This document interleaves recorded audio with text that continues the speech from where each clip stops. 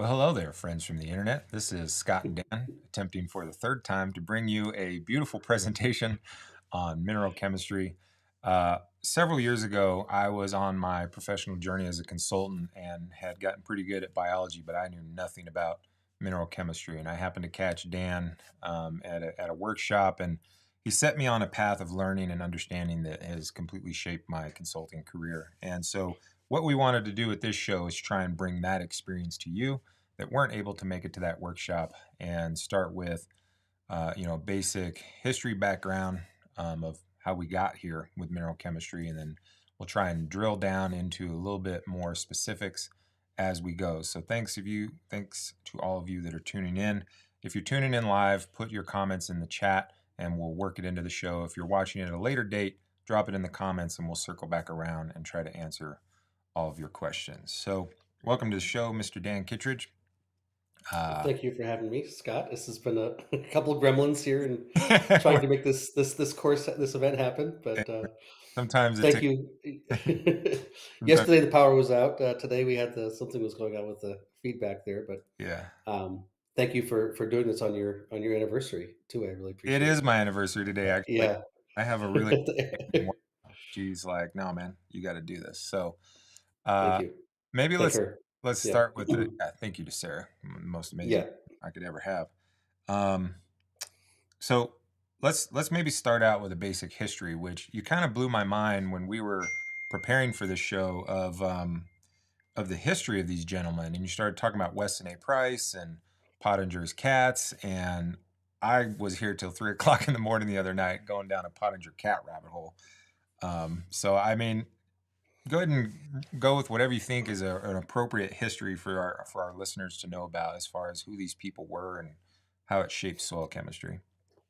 Yeah, well, I mean, it's interesting, sort of sometimes when you get to understand the history of things. And um, when I when I teach my course these days, I, I teach um, the Albrecht style of of uh, mineral balancing is for a, a sort of a foundational piece in that in that side of things. But understanding who Albrecht was, understanding who his contemporaries were, understanding what they were uh, learning and and determining at that point in time. I think those are all really valuable context points mm-hmm. um, because in many cases people say, "Oh, here's my UMass soil test. Give me a reading," and I'm like, well, "I can't read that language. That's like that's like ancient Latin to me." Like, what do you mean it's a soil test? Like, well, actually, there's a bunch of different kinds of soil tests, and they all have different assumptions. They come from different, you know, foundational paradigms and assumptions. And so let's really, you know, step back and, and actually have a deeper conversation about, um, you know, the history behind and the, and the, and the, and the frameworks and the understandings behind. I like to use the example of maybe a, um, a homeopath and an osteopath, right? A homeopathic doctor is going to look at your color of your eye, eyeballs and you know look at your fingertips and see how white they are and say oh you have this thing going on. And an osteopath's going to go and call for some lab work. And they're going to and they're going to say oh you got you got that going on. And so you foundationally have different ways of assessing the human body to come up with the recommendations that you're that you're you know you're providing. And the the uh, conventional what we call now conventional the sort of the land grant university um, model of soil testing is relatively new and it, it is predicated on a certain set of assumptions, which are not necessarily biological. They're much more sort of, um, uh, I like to use the metaphor of a, of a uh, IV drip um, model of being fed as opposed to digestive system model of being fed. You can be kept alive on an IV drip if you have soluble nutrients um, injected into your bloodstream and you can also be kept alive by eating food and having it be digested by your gut flora. Those are two different ways of getting fed. And depending on what your model is, one person is going to recommend a bag of salt water, mm-hmm. another person is going to recommend a, a, a balanced diet. Um, and they'll be based on their their assumptions about how things work and, and what's going on. So I think it would be great to sort of start this deeper conversation with um, understanding what the assumptions are behind the people that I recommend, and, and sounds like you're recommending as well. Um, and so Albrecht is the person I think would be great to start with. Um, when we talk about him, Um, he, as I understand it, grew up on a farm in Illinois. Um, he's a farm boy, and he uh, went to University of Illinois for his undergrad work, and then um, I can't remember if it was Iowa or where he went for his, his grad his grad grad work. Um, but his grad work was looking at the um, overlays between World War One draft records and um, and and geography. So it looks like the boys that grew up in Illinois were drafted at much higher rates than the boys that grew up in um, Kentucky. And he was like, you know, they both have, you know, whatever English and German heritage. So genetically, they should be relatively similar. Why are we getting different different acceptance rates into the draft based on their geography? Because he was seeing this happen across the country. Like in these bioregions, he was seeing, you know, the acceptance rates are much higher, and these bioregions are much lower. Um, and to be accepted into the draft in World War One, you had to basically have, um, like they would test a horse, you had to have good teeth and good feet. Mm-hmm. Um, if you had good arches and good teeth, and you were fit to be cannon fodder uh, or whatever it was, machine gun fodder, uh, or um, then if you if you didn't, you couldn't. So that was based on you know what happened in the Civil War, which was if you couldn't march for twenty miles because you had flat feet, if you couldn't eat hardtack because you had bad teeth, then they didn't want you because you were a pain in the butt and you weren't worth having around. And so, um, for whatever it's worth, that was not relevant in World War One, but but the point was there were different physiological, you know, development in boys that were raised in this part of the country and that part of the country. And and what Albrecht's thesis was, um, this was before we had refrigerated cars, before we had before we had you know highly processed food. Basically, everything was local. People were growing their own food. It's like maybe it has to do with the soil that people's food is being grown in. Um, if they're genetically coming from similar lineages, if they're effectively eating similar types of food, but their bodies are coming out differently, then maybe it's coming it has something to do with the soil their food's grown in. And um, that's you know effectively the foundation of Albrecht's work. I think there were over 500 papers that he published during his career. He was the head of the um, soil department at the University of Missouri for I think 20 years or something. Mm-hmm. Um, so a, a well credentialed land grant university researcher who uh, prior to World War II was part of some really wonderful work that the USDA and the land grant universities were doing in supporting farmers and understanding how to have things do more well. Um, you know, his research effectively, he would take soil, clay, put it through a centrifuge, spin out all the um, the, the cations, all the calcium, the magnesium, the potassium, and then he'd add back in at certain levels and ratios. You know, fifty percent calcium base saturation, ten percent potassium, five percent um, magnesium, 75% calcium, 20% potassium, 5%, whatever. Different. He would just experiment with different levels and ratios of minerals in that soil colloid.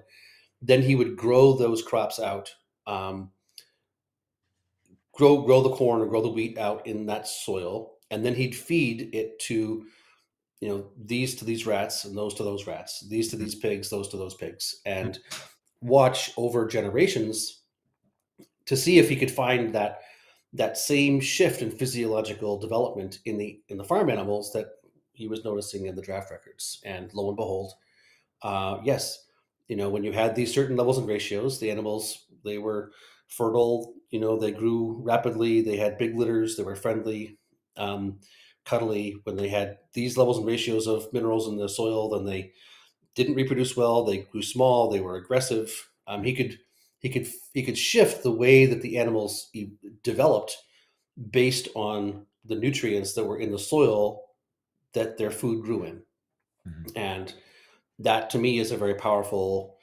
powerful insight and i love the fact that it was done i mean he grew up on a farm i think he's got common sense you know I'm, I'm biased towards farmers but but the fact that he used the western national framework and sort of was able to categorically show that um, there's something going on here um, and that's sort of I like to sort of hide behind that. Um, he had contemporaries, which are some of the other slides you've got there. Um, um, uh, Weston Price, who, as I believe it was, I think he had you know helped to develop the the uh, root canal. Um, he was a dentist. Uh, he was a cutting edge dentist. He was like on the you know a leader, the you know a leader. Um, he developed the root canal. 30 years later, he saw the root canals failing. Um, he was coming to the end of his career and said, um, there must be more to it than this dentistry we've been practicing. And he and his wife went on a trip around the world to find humans that had that didn't have um, didn't have didn't have cavities. all the He would you know they got all the well, right, exactly. And so they went and they went and they um, the, the, if you had to be, they would take a picture of every person in the village's teeth yeah and count the number of cavities. Yeah. And if you had less than one cavity in a hundred teeth, so that would be out of every three people, you have one cavity or less wow in the whole village. wow if he could find, if, if if if that was his standard, if a village had less than one one cavity in three people, then he would study them to see what they were doing to have healthy teeth, because obviously it wasn't happening in the states. Um, and you've got the list there of the parts of the world that where he found these villages, and they were all over the place, right? I mean, yeah you show that, put put that slide back up there. I think you can. Switzerland uh, Um, uh, remote villages in Switzerland Gaelic communities in the outer Hebrides Outer Hebrides, yeah what's that nothing. Yeah. Outer Hebrides, those are those are um, that's uh, Scotland. Those are islands off Scotland. Mm, um, indigenous people north and south america melanesia polynesia african tribes australian aborigines maori Yeah. um, so he was like okay so something's going on here in all these in, all- in all these different areas and he was trying to figure out what it was and he was like is it your politics? Is it your economics? Is it your food you know what what he was like yeah. is it your soil type? Is it your geography? He's like he was like doing a full survey of what these cultures had in common. He was like there must be something some common ground here and i mean the short answer is it was lacto-fermented foods foods that were pre digested by microbes um, where people had healthy gut floras i think is the if you want to sort of one short line out of it they all all these people they they fermented their milk they they fermented their their grains their vegetables they they were they had an actively positive um, microbial dynamic going on in their food supply uh, but anyway so so albrecht and um, price weston A. price were contemporaries um, people may have heard about um, a pottenger pottenger's cats where he was taking milk and what was he doing he was cooking it oh my god he- you, you've read this more recently than i have i haven't read his work Well, recently yeah I, I watched the whole doc I was here till three o'clock in the morning watching a documentary yeah I'm blown. The, the short the short answer is uh, uh, Pottenger's father was studying adrenal extracts from cats with some sort of disease. I forget what it was. Uh, Sara's probably saying it over the phone. She told me last night, but I didn't hold on. to it. But anyways, Pottenger carried was carrying on his father's research, and there was a standard um, diet for this process that science used, and he just kept seeing a high mortality rate. And something happened where um, uh, what is this? It says it right here. Um, he says uh, uh, he ordered raw meat scraps from a local packing plant and started uh, feeding that to them on a second group, and they had significantly better survival rates. And that completely transitioned from we're doing adrenal extracts for some sort of treatment to we're going to study nutrition, and that went for 10 years. Yeah. And, um, you know, so basically they all got one third of their diet that standard scientific formula for keeping cats alive in a lab. and then the other two thirds was one of like six or seven different, uh, which ranged from uh, whole milk or raw milk, pasteurized milk, sweetened condensed milk. The sweetened condensed milk, so pasteurized and sugar added, uh, within a generation or two, started having like radical abnormalities. Um, Yeah. It's kind of crazy the videos they show online too, because they videotaped all like they'd flip them, they'd kind of fling them like a beanbag toss, and you know the ones that had the, the raw diet would land perfectly. Land at their feet. Yeah, the other ones would kind of they would kind of bounce weird, and you're like, whoa. Do you want to maybe turn the dinger off on your phone? That was going pretty. oh, sorry, sorry. Yeah. That was pretty short. Mm. Um, but yeah, he he they would then do a various set of observations.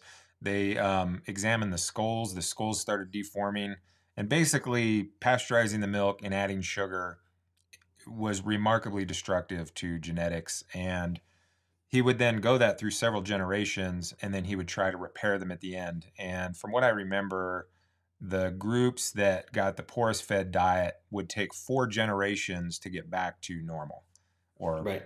yeah and it just was like this rabbit hole and the funniest part is like how people kept dropping off cats. They're like oh you're doing a cat study here you know and they just there would, there would be cats on the porch uh,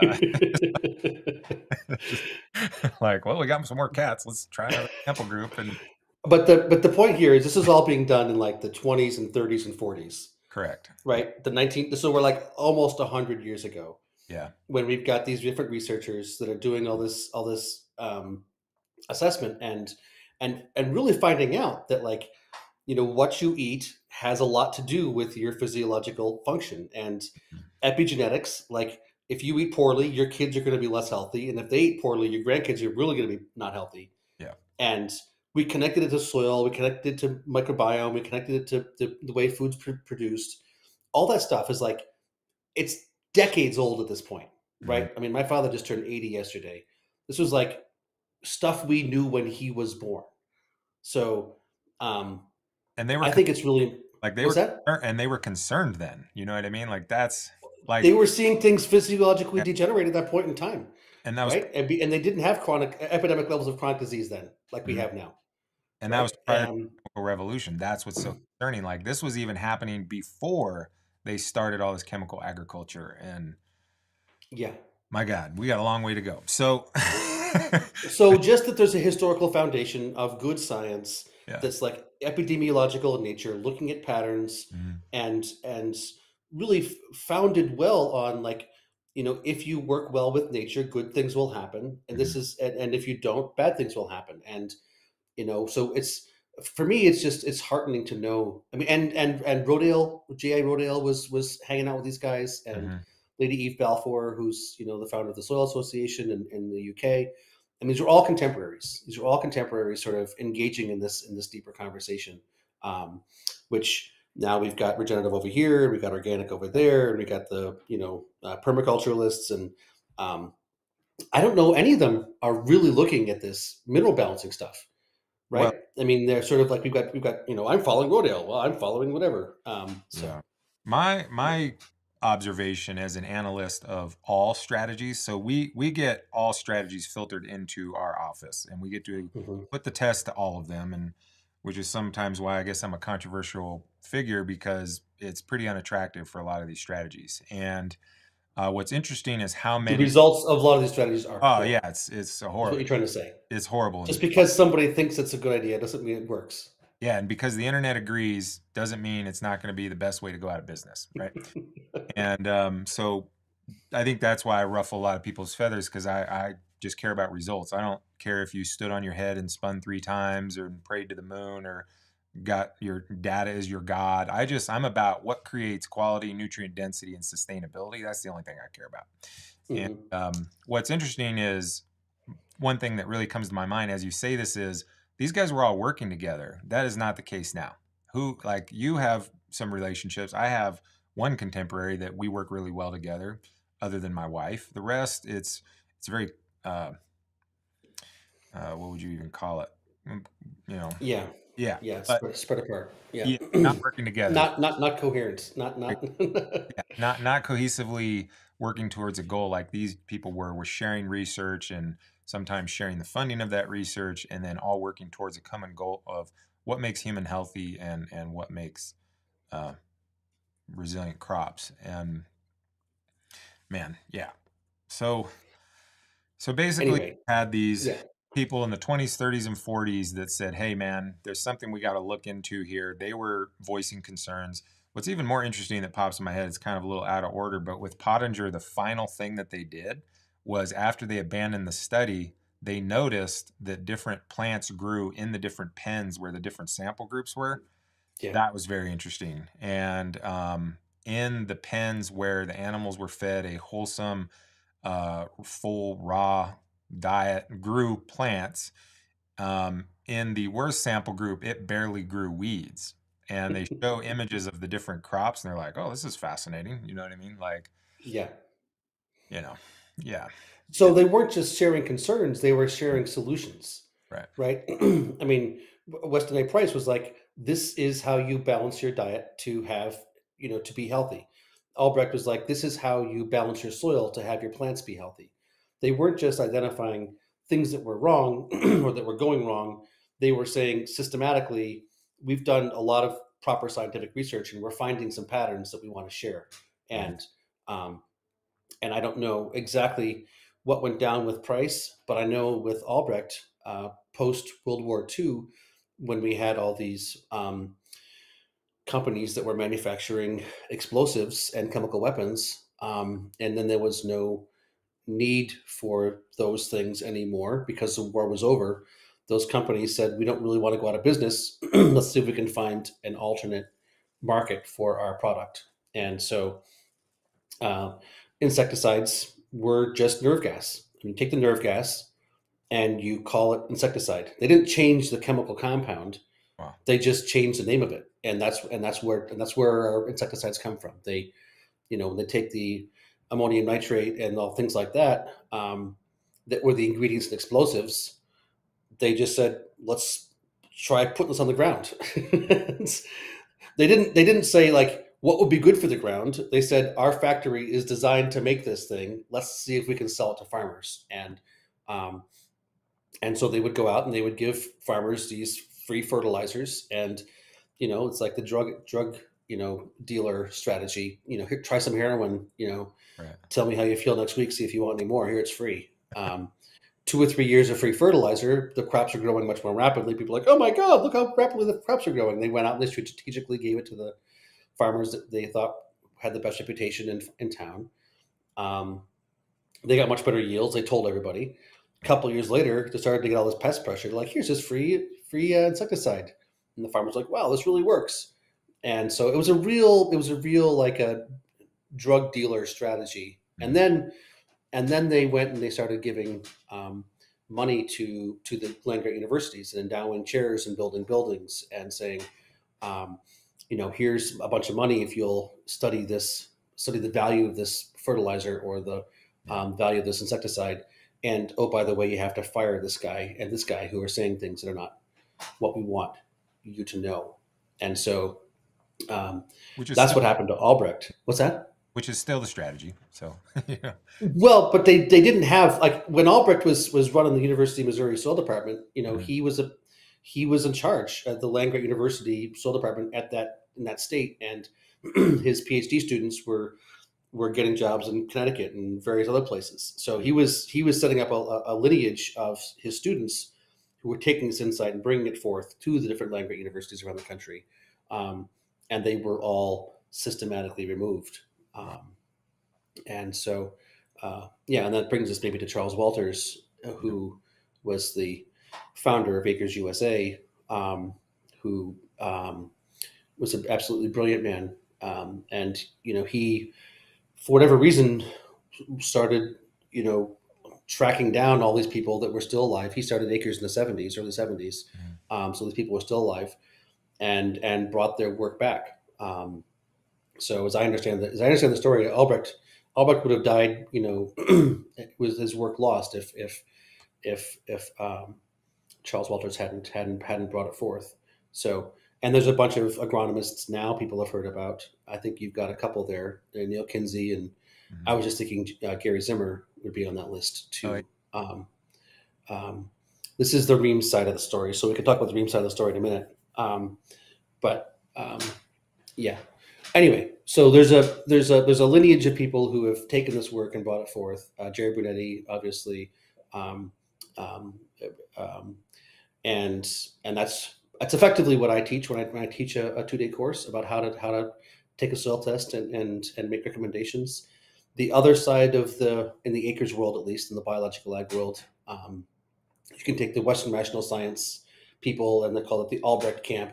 And when I started going to acres in the early 2000s, there was like a there were two camps. There was the Albrecht camp and the Reams camp. And Carey Reams was a um, I think he was a clairvoyant. Actually, he was you know he he was extremely intelligent. Um, he had worked with Einstein. I think the story goes, I'm not sure if it's apocryphal, um, that when he met Einstein, he said, you know, so Al, uh, you figured out how to take things apart, you know, ha ha ha, like i.e. the atom bomb.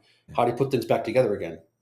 in how do you create matter you know you can take matter apart and release the energy from it but the, his but reams's question was how do you take energy and and create matter from it and and the story goes that that al said to Carey, well that's your job Carey. figure it out.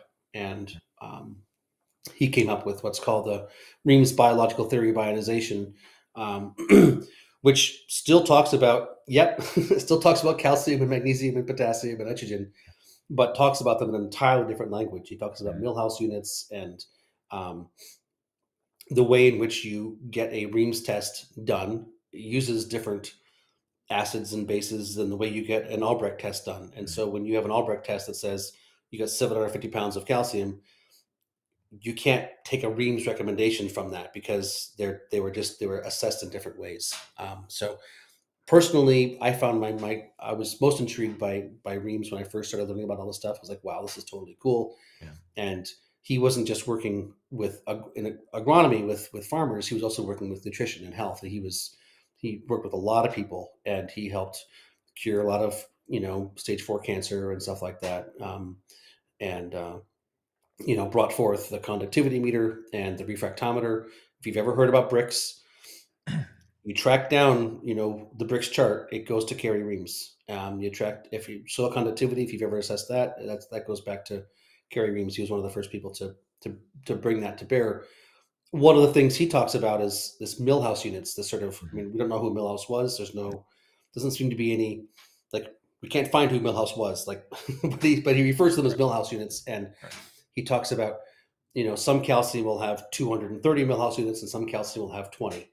So just because it's limestone doesn't mean even if it's calcitic limestone, just because it's calcium carbonate does not mean it has a lot of energy in it. And he was very interested in the energetic nature of the substance that you're working with. Um, some gypsum has no energy. Some gypsum has a lot of energy. It's not just about the calcium. Just, and then there's the different types of calciums. Right. Um, he talked about male and female energies, and some elements will cause things to flower and fruit, and some things will, some elements will cause things to, to you know, have more leaf growth um, all of which seems to be borne out by people who have tracked this down and and and followed it. And I think you've got a picture. Yeah, I, Arden. And, I can tell you that anything I've functionally applied from Carey Reams from my body to the farm has worked. Like undeniably, yeah. undeniably has worked. Now, to the degree which with I understand it, right? It's it's pretty far out compared to the technical hydroponic world that I come from, and so it, I wouldn't I wouldn't say that I've ever comprehensively applied the full Carey Ream strategy because I'm not going to say that I understand all of it. Um, but I will say the the thing that worked, the thing that really like, there's been these points in my career where I was like, whoa. And um, we were working with a farm that had a nursery with a lot of production capability, high plant counts, high speed, high rotation, lots of repetitions.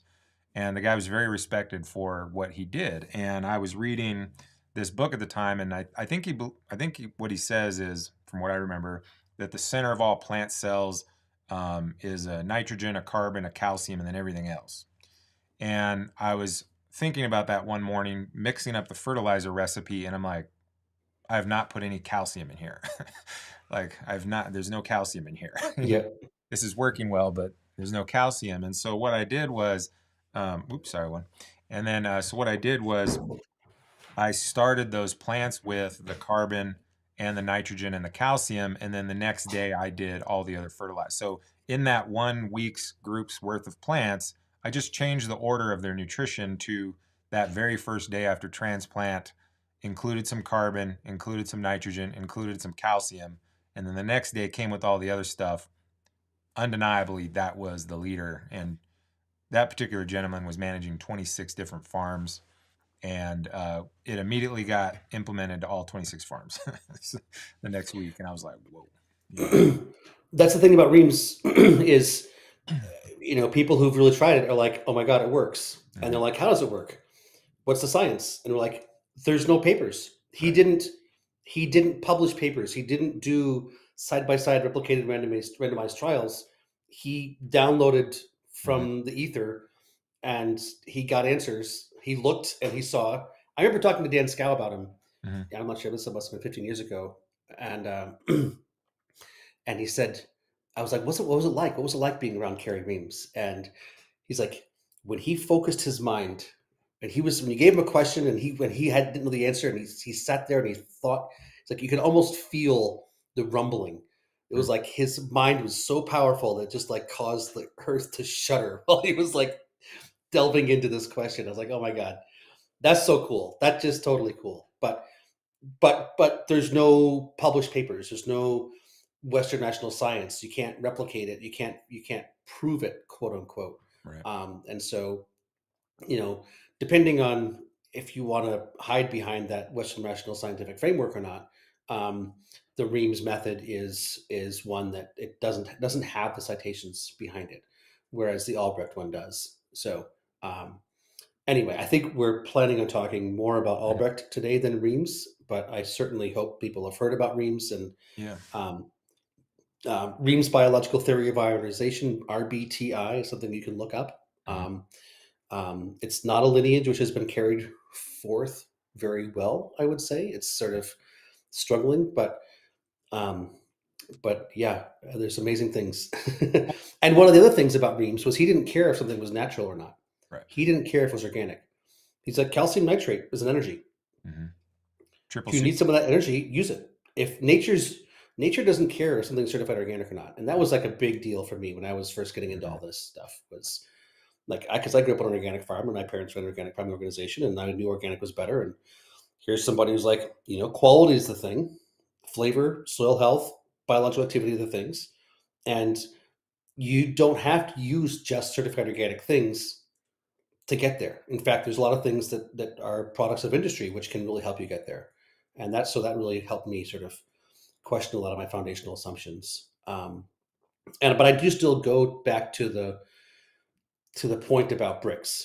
Um, you know, I have not seen yet any other better empirical metric for verifying overall system function than refractometer than a, than a Brix refractometer, Mhm. and um, a lot of organic farmers are getting low Brix readings, and a lot of reams based producers are getting high Brix readings, and um, that does correlate with flavor. It correlates with shelf life. It correlates with soil health. It correlates with farm viability. Um, and so, yeah, it just if we want to if we want to think about breaking outside of some of our boxes, um, um, having some metrics that we can use to assess overall function and and and not have to be locked into our philosophies about the way things have to be, I think is probably is probably helpful. So When I when I went down the major rabbit hole of Brix, um, obviously our strategy is put it to the test. I don't have any emotions about any of this stuff. I find the information, I put it to the test, examine its value, and keep it or ditch it. And yeah, we started getting into uh, the Brix. Uh, some of the old information talks about um, a product. I think it came from International Ag Labs called Amaze. yeah, Which, yeah, right. And so mhm, that was one of the products that made it kind of easy for um, for farmers to increase the Brix. And and basically, what I've distilled down from the information is, in order to increase the Brix value, you have to increase the production of sugar, which basically means you need to increase the uptake and movement of phosphorus. And that Amaze product has calcium and phosphorus in it. I think AEA tried to make a similar type uh, product. I'm not familiar with. I have some other things that I use now that do the same aspect. When when we were starting to mess mess with Brix, that's when I was becoming uh, competent at the soil food web, and that was the only way I was able to increase the Brix was by changing the relationship between predators and prey. So things that eat bacteria to convert those nutrients, and that was the only way I was able to get it to move up. And I think what happens with organics specifically is in order to increase the movement of phosphorus, you need to either be an expert at mineral chemistry and timing, or you need to start functionally incorporating some biological premise, which most people don't. So you see not that many people functionally move that needle, I guess. So I think I, I see people get frustrated.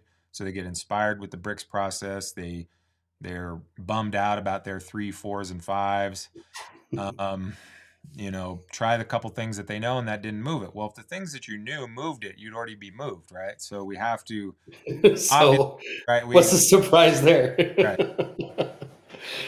You know, which I yeah, actually have a box full of uh, squishers and refractometers that people get into it and get frustrated and then end up mailing them to me and and I would just like to see people have more success with it simply because that sets you on the journey for you know you're you're moving the needle now when you get those numbers to move right? And in the field i would agree that's a solid handheld uh, farmer actionable tool. You don't need to send it in the lab. You can do it yourself.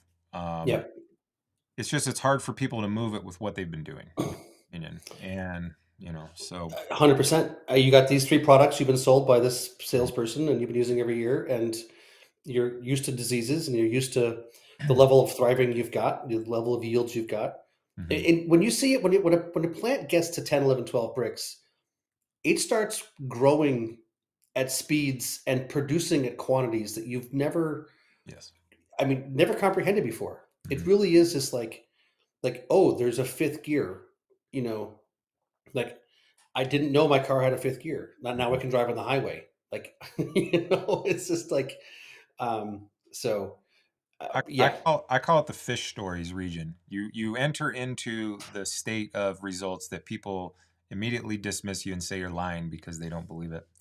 Um, yeah. but one I've one been thinking. I've been thinking this year I should do this on my on my uh, the, the BFA's land. Um, yeah is is take everybody I know who's an agronomist, um, and I know a few of them out there, and say, send them a sample of my soil, and say, take take my soil, and give me recommendations, and sell me your products, and I'm going to do your your protocol against your protocol against your protocol, all the way down the field, and let's just see who's out there, who's got good stuff. Um, because it until you see a seven foot tall eggplant, you know, or a pepper plant with a bushel of peppers on it, you know, literally, how big does a pepper plant have to be for there to be a bushel of peppers on it? Right. Like, if you've never seen a pepper plant that big, you wouldn't comprehend that it's possible. So, so the more we can do that, we if those of us who think we know what we're talking about can lead by example and actually just do some of that work. I, I'm I'm going to try to do it this year.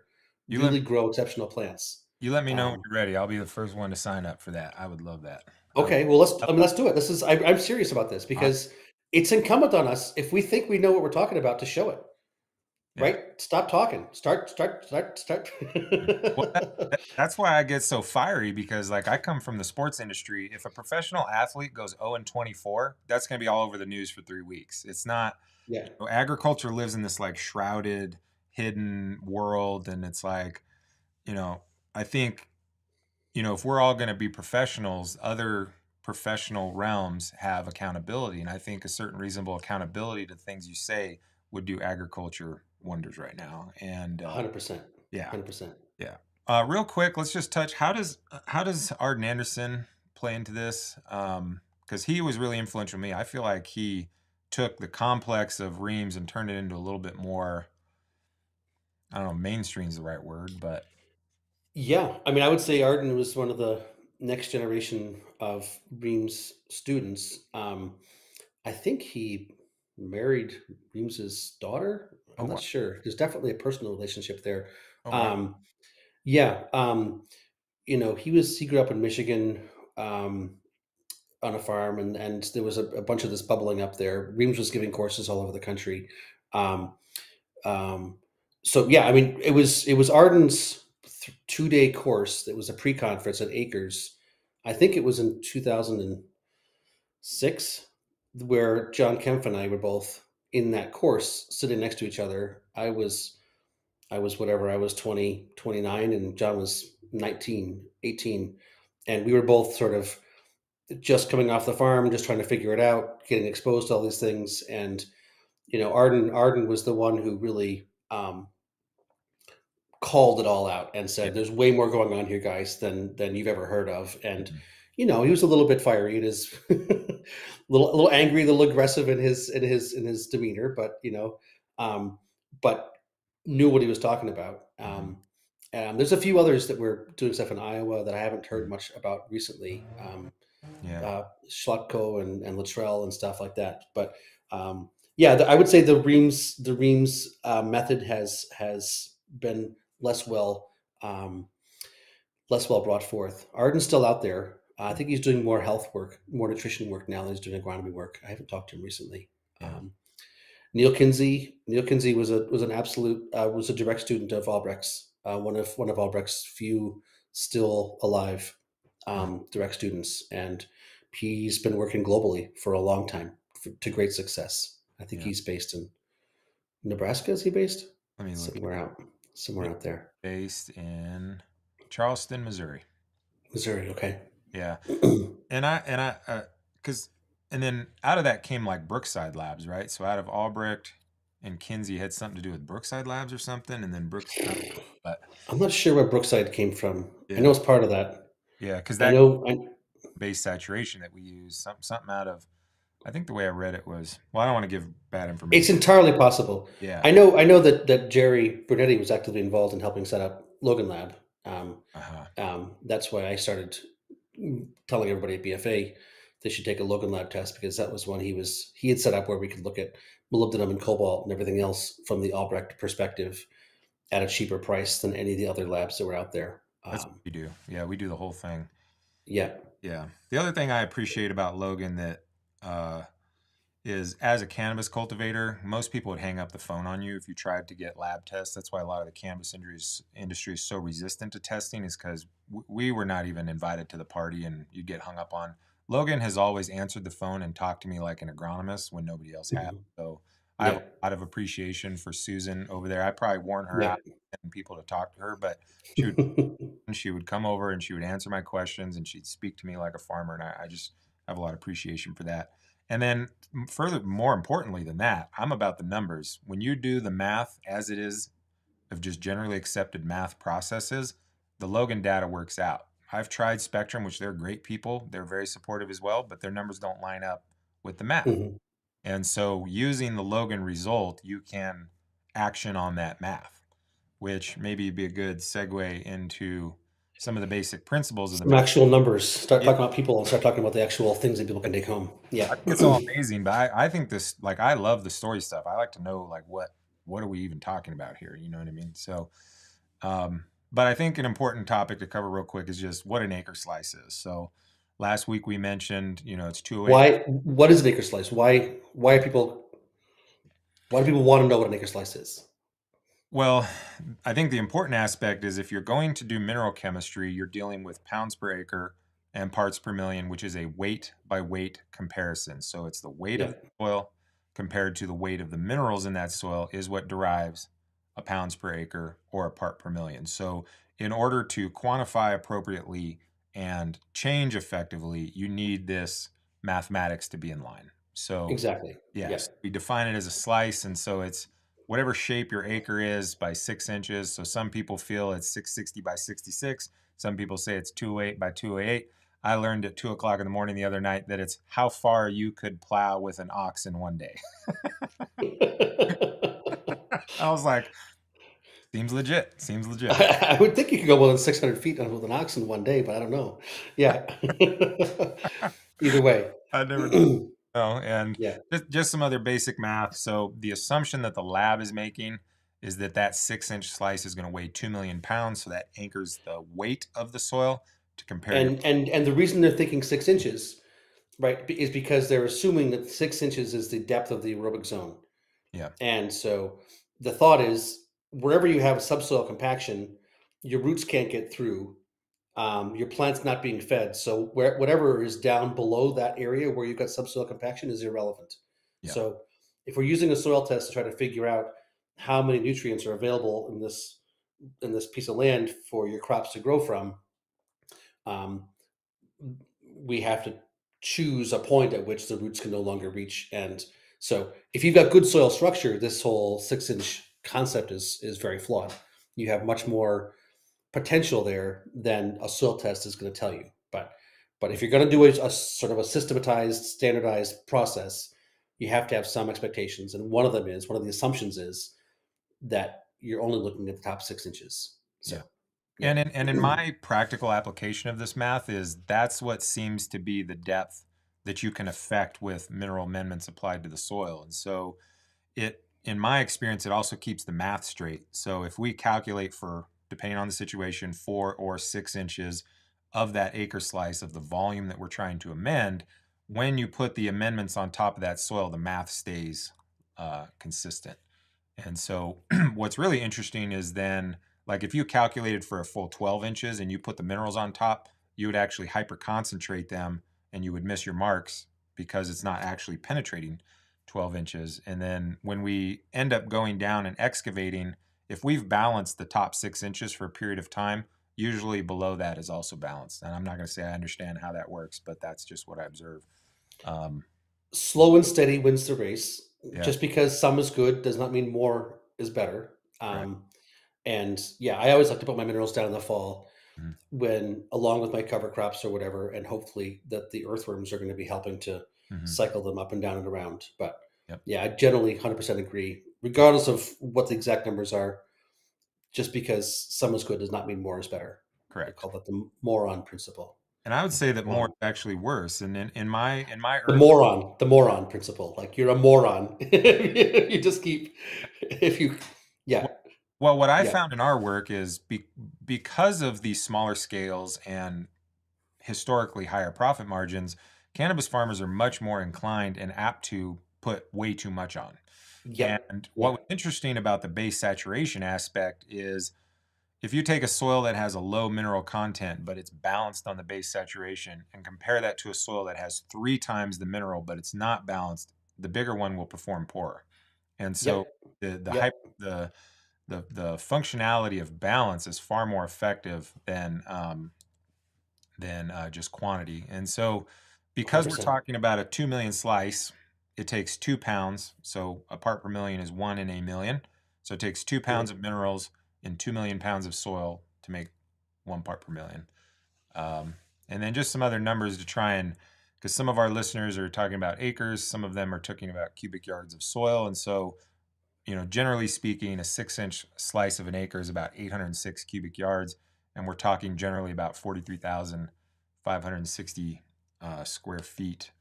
Is um, some basic principles. I have some targets. Do you think we should talk about targets or um, try and wrap You it? can throw them out and then we can rip holes in them if you want. Yeah, Okay.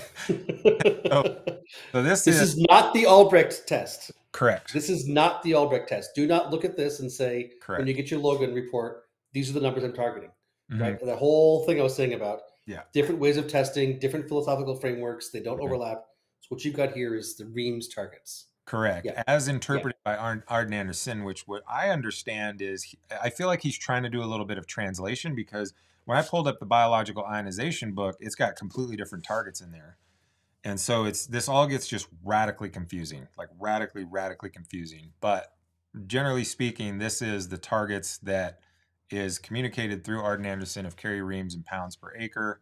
And then when we translate that to parts per million, um, those of you might catch that phosphorus and potassium change, and that's because of this other added nuance that when you talk in pounds per acre, they're referring to phosphate and potash, and that is not potassium or phosphorus. And you have to remove the oxygen, and it gets way more complicated. That's P2O5 is a much Mhm. bigger compound, heavier compound than phosphorus Yeah. as an element. So, mhm, I mean, the problem I I I when I teach my two day course, I spend an hour and a half on on minerals, and it's always interesting to see because some people get really excited by the the philosophical like, oh, nature evolved plants to work in symbiosis with microbes, and Mm. it's about creating that dynamic where the microbes are flourishing and and just you know keeping the soil moist. And other people are like, oh, two plus two equals four, four Mhm. times eight equals you know thirty two.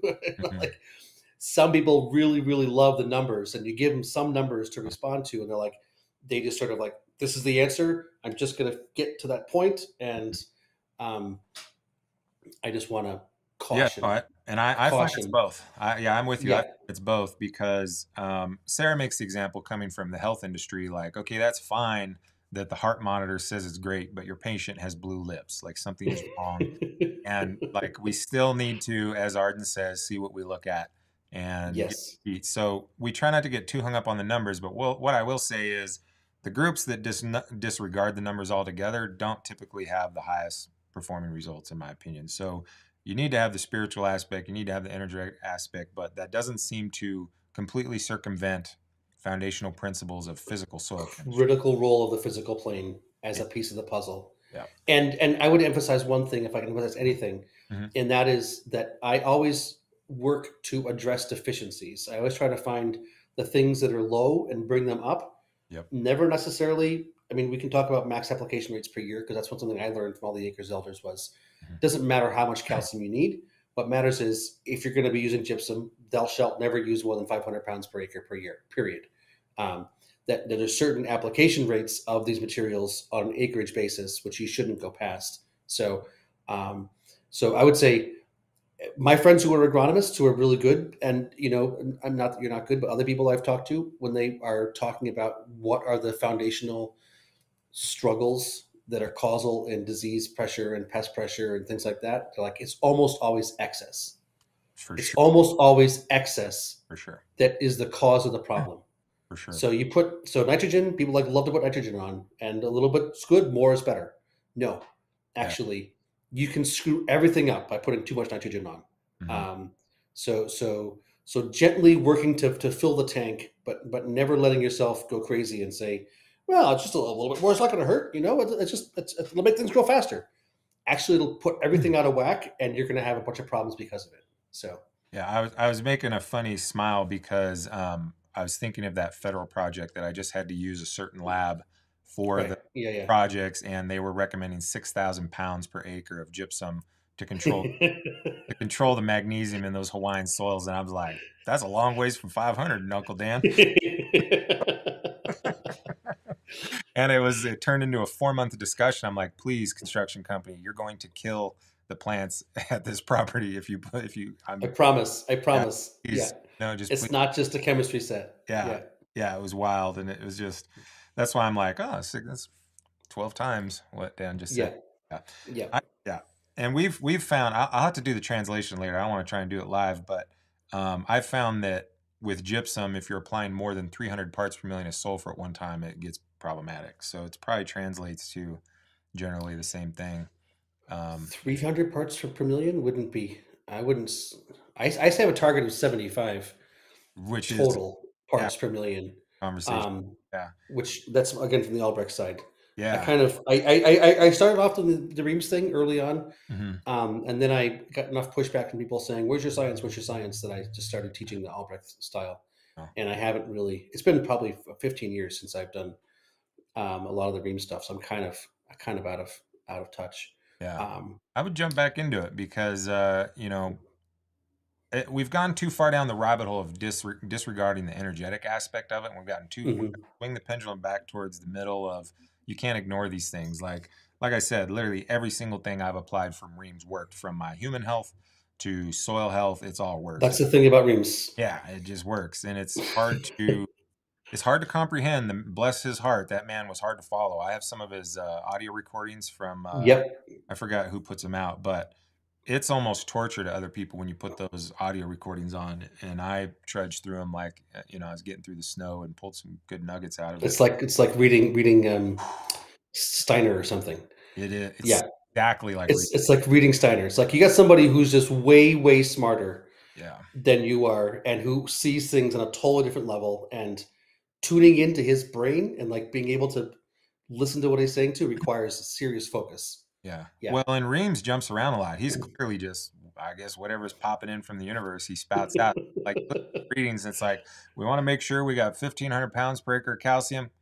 And I'm hearing that peaches in the spring. It's like where are we where are we going? And it's just like, whoa, you know, so it's it's kind of a trip to uh but I yeah, I blasted through a lot of his stuff. I you got to get that information and put it to yeah, Now on the contrasted side of that is the Albrecht, which is his big component is the base saturation. Would you say it's the balance? it's the levels and ratios of these key cations exactly on this on the soil colloid. Um, and uh, I'm glad you're enjoying yourself, Joe.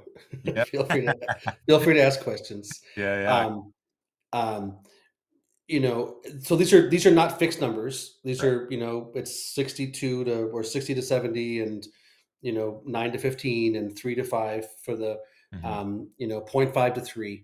Um, so this is what Albrecht found when he when he was doing all of his original research in the in the in the 30s. Basically, was about um, what were the levels and ratios of these elements on the soil colloid that connected to things growing well, not only in the plant, but also in the animal eating the plant. Right. And so maybe the first question to answer is what is a soil colloid? And there you go. um, you know, we throw these words around because we've been reading this stuff for 15 years. We know what we're talking about, but Mhm. don't necessarily assume everybody else does.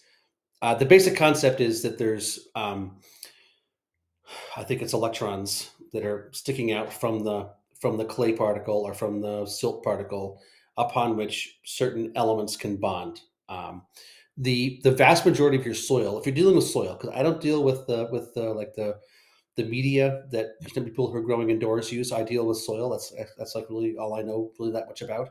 Um, and you know, the vast majority of what soil is made out of is aluminum, silicon, iron, and oxygen.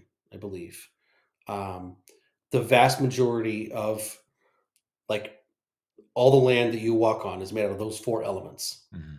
90, 90 plus percent of all the soil is aluminum, iron, silicon, and oxygen in some in some ratio, depending on whether it's a granitic subsoil or a sandstone or or whatever.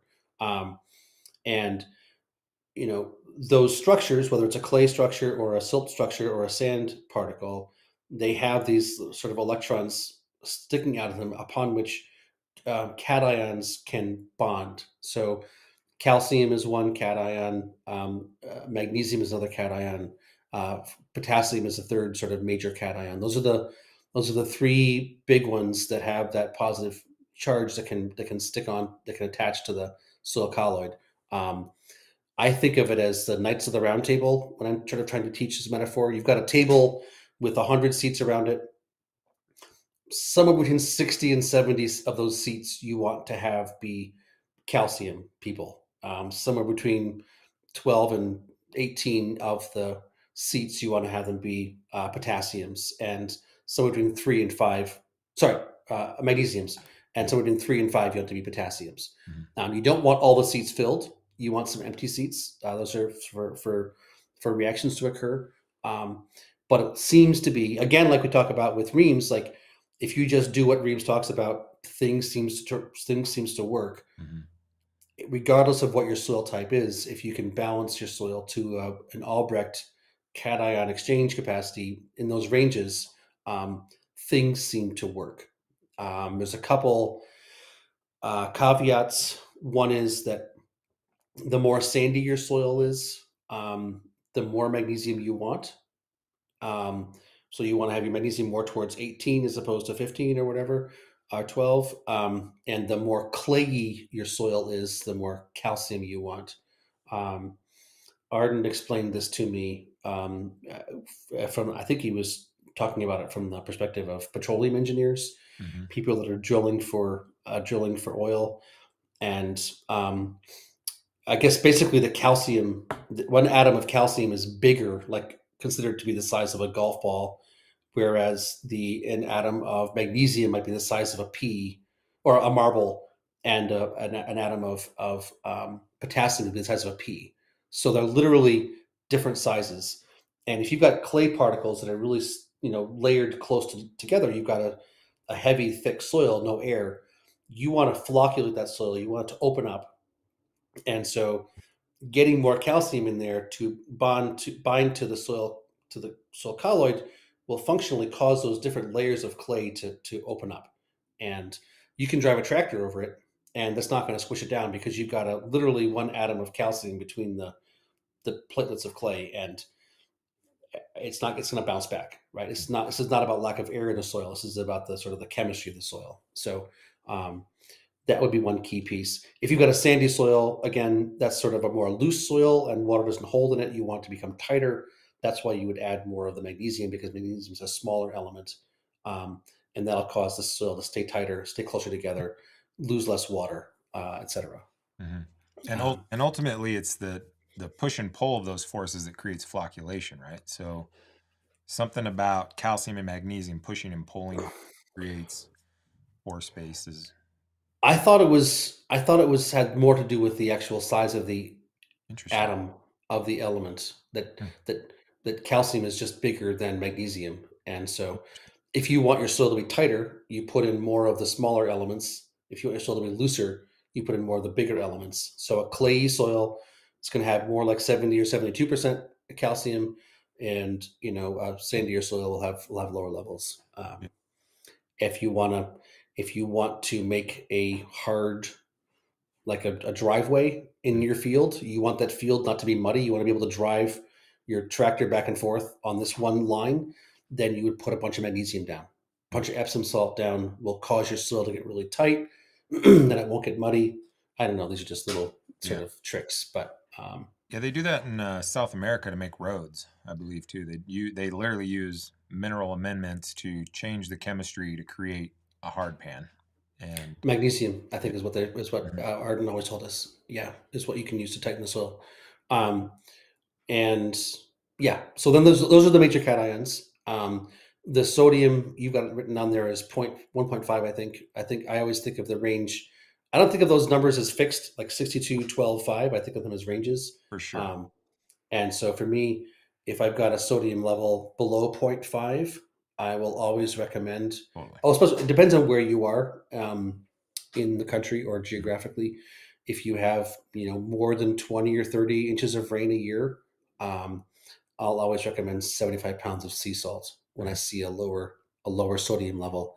Um, around here in the East Coast where it rains a lot, you might get higher sodium levels in a hoop house, but you're never going to see them outside um, unless somebody's doing a lot of sea salt. But out west where you guys live, um, I'm guessing you get higher sodium levels pretty re- regularly. Um, Yeah. But again, you're dealing mostly with indoor growing people who don't have rain.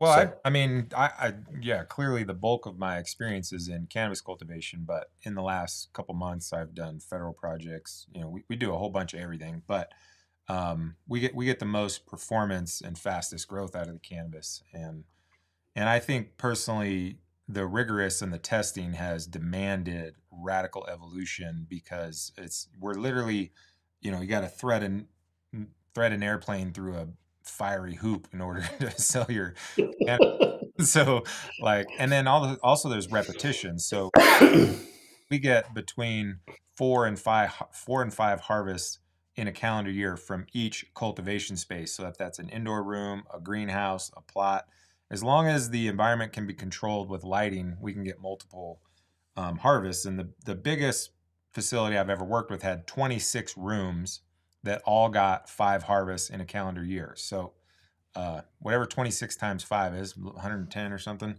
that's how many crop cycles we got in one year and that is a lot. 130, yeah. like that's a, that's a lot of experience and so um, but we we do a little bit of everything and here in here in here in Utah you know I guess what's left over from when this used to be an ocean there is quite high salt in the soil here um, which is interesting because we get a tremendous amount of snow and like I just watched five feet of snow disappear in the last two weeks. It's clearly flushing out the root zone, and you know when in that case you you would think that it would keep flushing it out, um, but it is. A little Well, I think it has to do with whether the majority of the water leaves through going down or through going up. ah, And so if you're if the if the water mostly leaves the land through through evaporation, then whatever salts are or nutrients are soluble in solution will be left on the soil surface as that little sort of like that white salt crystal. So Hmm. um yeah, do you do you lose most of your water through evaporation or through or through leaching? And that's a that's a good question. I just assumed it was going down, but it's so dry here. No, no, no, no. It's where you guys are. It's all. It's all. I mean, some may go down, but the vast majority of the water you lose goes up. You lose through through evaporation. That's why you have this high Mm. salt le- levels. That would make Um, sense because that's also High, what, high pH. Yeah. that's also what they talk. Yeah, it's high pH too, and that's also what they Mhm. talk about with watering. Is if your if your water is high in sodium, doing small amounts is going to build up that sodium. Drawing large amounts will tend to drive it down or push it through a little bit. So that, that makes a lot of sense. Yeah. Um, Yeah. So So, there's different recommendations for different parts of the country. I mean, we're talking about we're we're talking about Americans right now, North America, but these Mhm, principles apply wherever you are globally. I Mhm. think it's somewhere in that you know 20 plus or minus inches of rain a year Mhm. is where you shift from from the high salt content, generally higher mineral levels, higher pH. Um, you should be concerned about putting things on um, because they can build up more rapidly versus where we live. If I live like 40, 50, 60 inches of rain a year, Mm. um, you don't need to worry about salt buildup.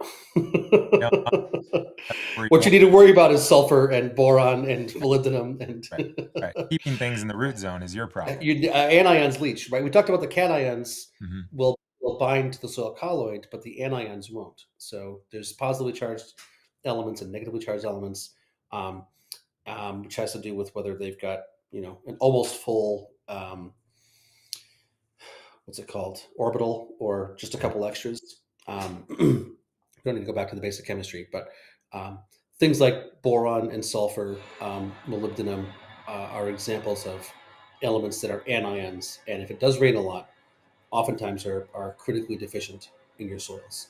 Right. So I can tell anybody who's living in the pretty much east of the Mississippi, if you haven't addressed a boron deficiency or a sulfur deficiency or a molybdenum deficiency, I don't need a soil test to tell you. I can pretty much guarantee you you've got one. Um, and so, um, yeah, there's just different different elements, different regional dynamics, et cetera, to deal with. Nice. Um, and even within potting soils, so in the potting soil world, if it's more peat moss base or it's more coco coir base, it requires slightly different um, targets, but they're fairly similar. Uh, we tend to need more potassium, so instead of maybe four to five percent, we go from four to seven percent. And if you stay mm-hmm. a little bit higher, like five to seven percent, it performs better. But man, you want to induce a pest problem, surpass seven percent on potassium. It's a real good way to do it, uh, and seems to be pretty consistent across all properties. Uh, we do see which which a lot of compost will do for you. Yeah, and right, a lot of so compost is high in phosphorus and potassium, mm-hmm. and people are like, oh, some compost is good, more compost is better. Mm-hmm. Well, um, you know, you get lots of weed pressure, all kinds of things start to go out of whack when you put too much compost down. So again, to the boron principle, just yeah. because some may be good does not mean more is better. Yeah, I think a lot of people just don't don't um, have that context. Well, the last the last thing I was going to say about the anions is the mm-hmm. anions are, are held in the soil colloid. Uh, they're held in the soil through organic matter. Right. So um, if if you've got stable organic matter, that's what's going to keep your boron and your sulfur and your molybdenum in the soil colloid. Um, the lower the organic matter is, the more likely they are to leach out. Right, right.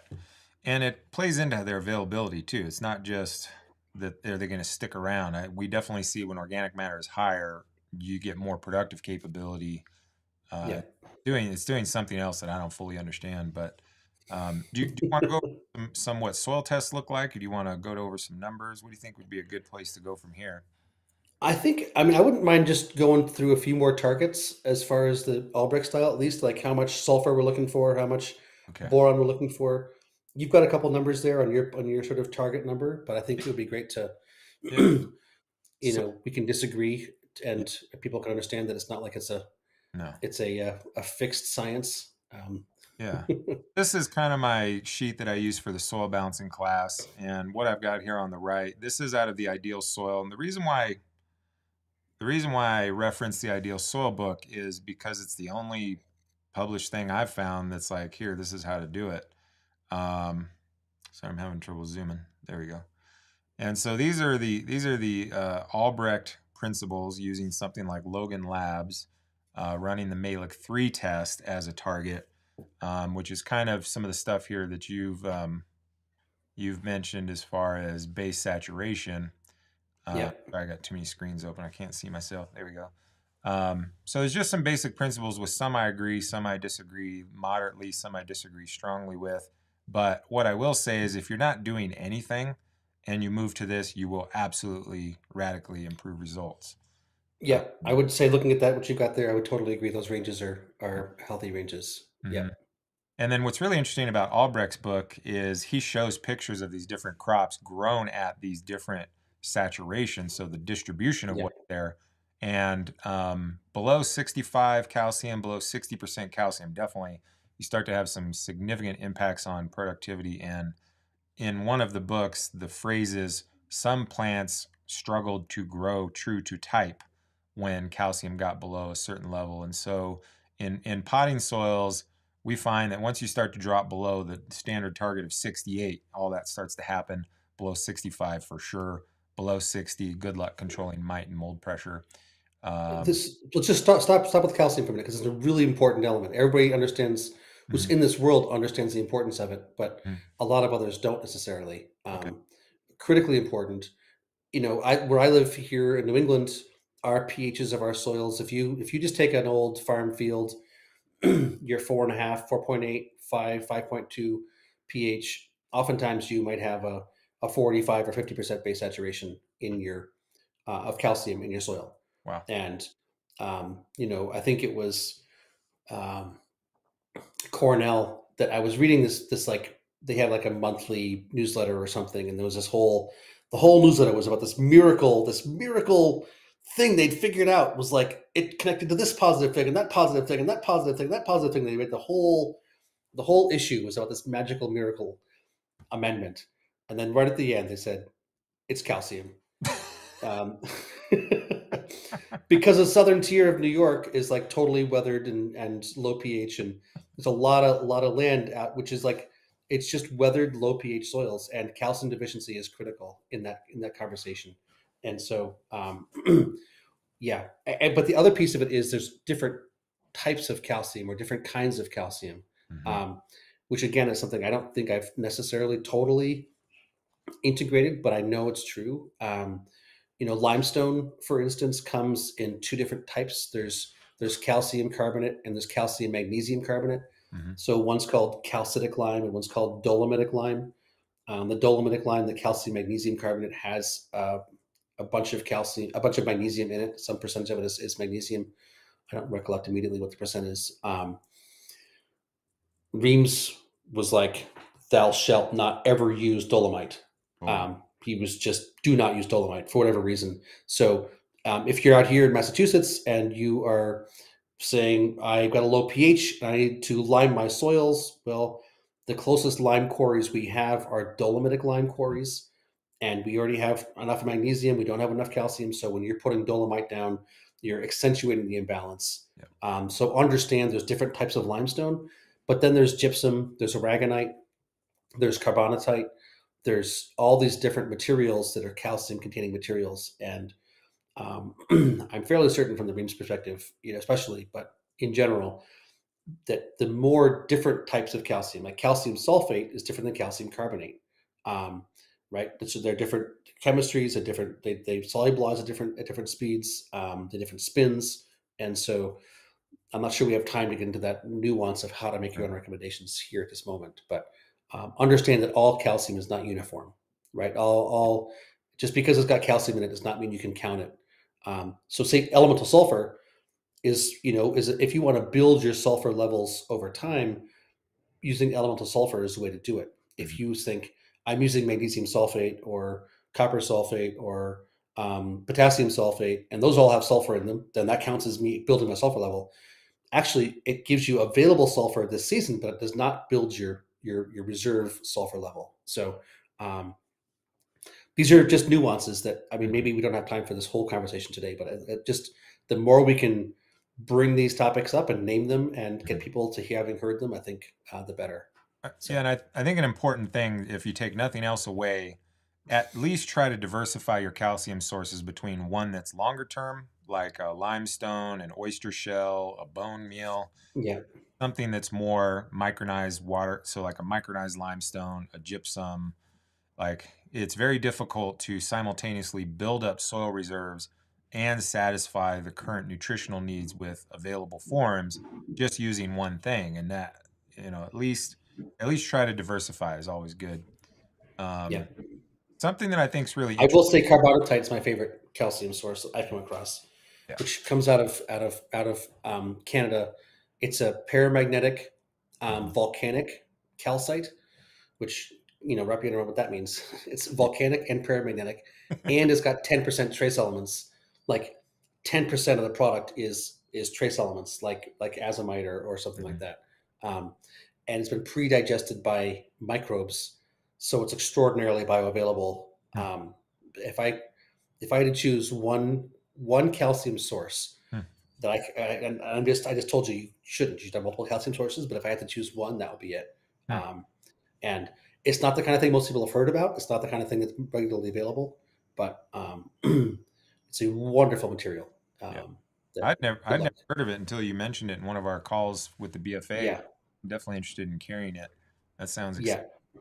I've got a few tons in my in my barn, um, but yeah, that was when that was the one that I when I when I put I I can't remember if it was maybe about a thousand tons to the acre down on a on a hayfield it was an old worn out hayfield. It was it was brambly and brambly and and goldenroddy and stuff. Um, hmm. In the fall, the next spring, it was red clover. It just completely shifted the the plants that were growing there um, in in one in just over the winter. Really, really impressive. Moved it through succession. I think. Yeah. One, I didn't plant clover seed. Yeah. it's just it along with nutrition. I think yeah. I think one takeaway, like, you know, obviously there's different literal languages of mineral chemistry. One thing I think they all agree on is that there's relationships. So this yeah. this is talking about different targets based in relationship, and then this Albrecht or well, this I guess would be this is Reams. This is Reams. This two to one P to K is Reams. Yeah. and that definitely now this gets complicated because you're talking about phosphorus or potassium or potash and so then it changes the ratio a little bit. But importantly as potassium goes up phosphorus needs to go with it as does sulfur um, as does iron and then the trace minerals are anchored to each other. So uh, yeah.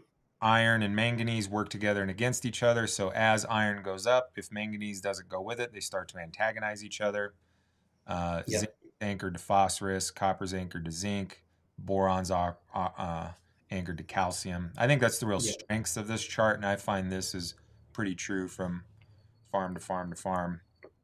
Uh, mm-hmm. well, can we? That, that was we went through that fast. Do you want to try to give people numbers?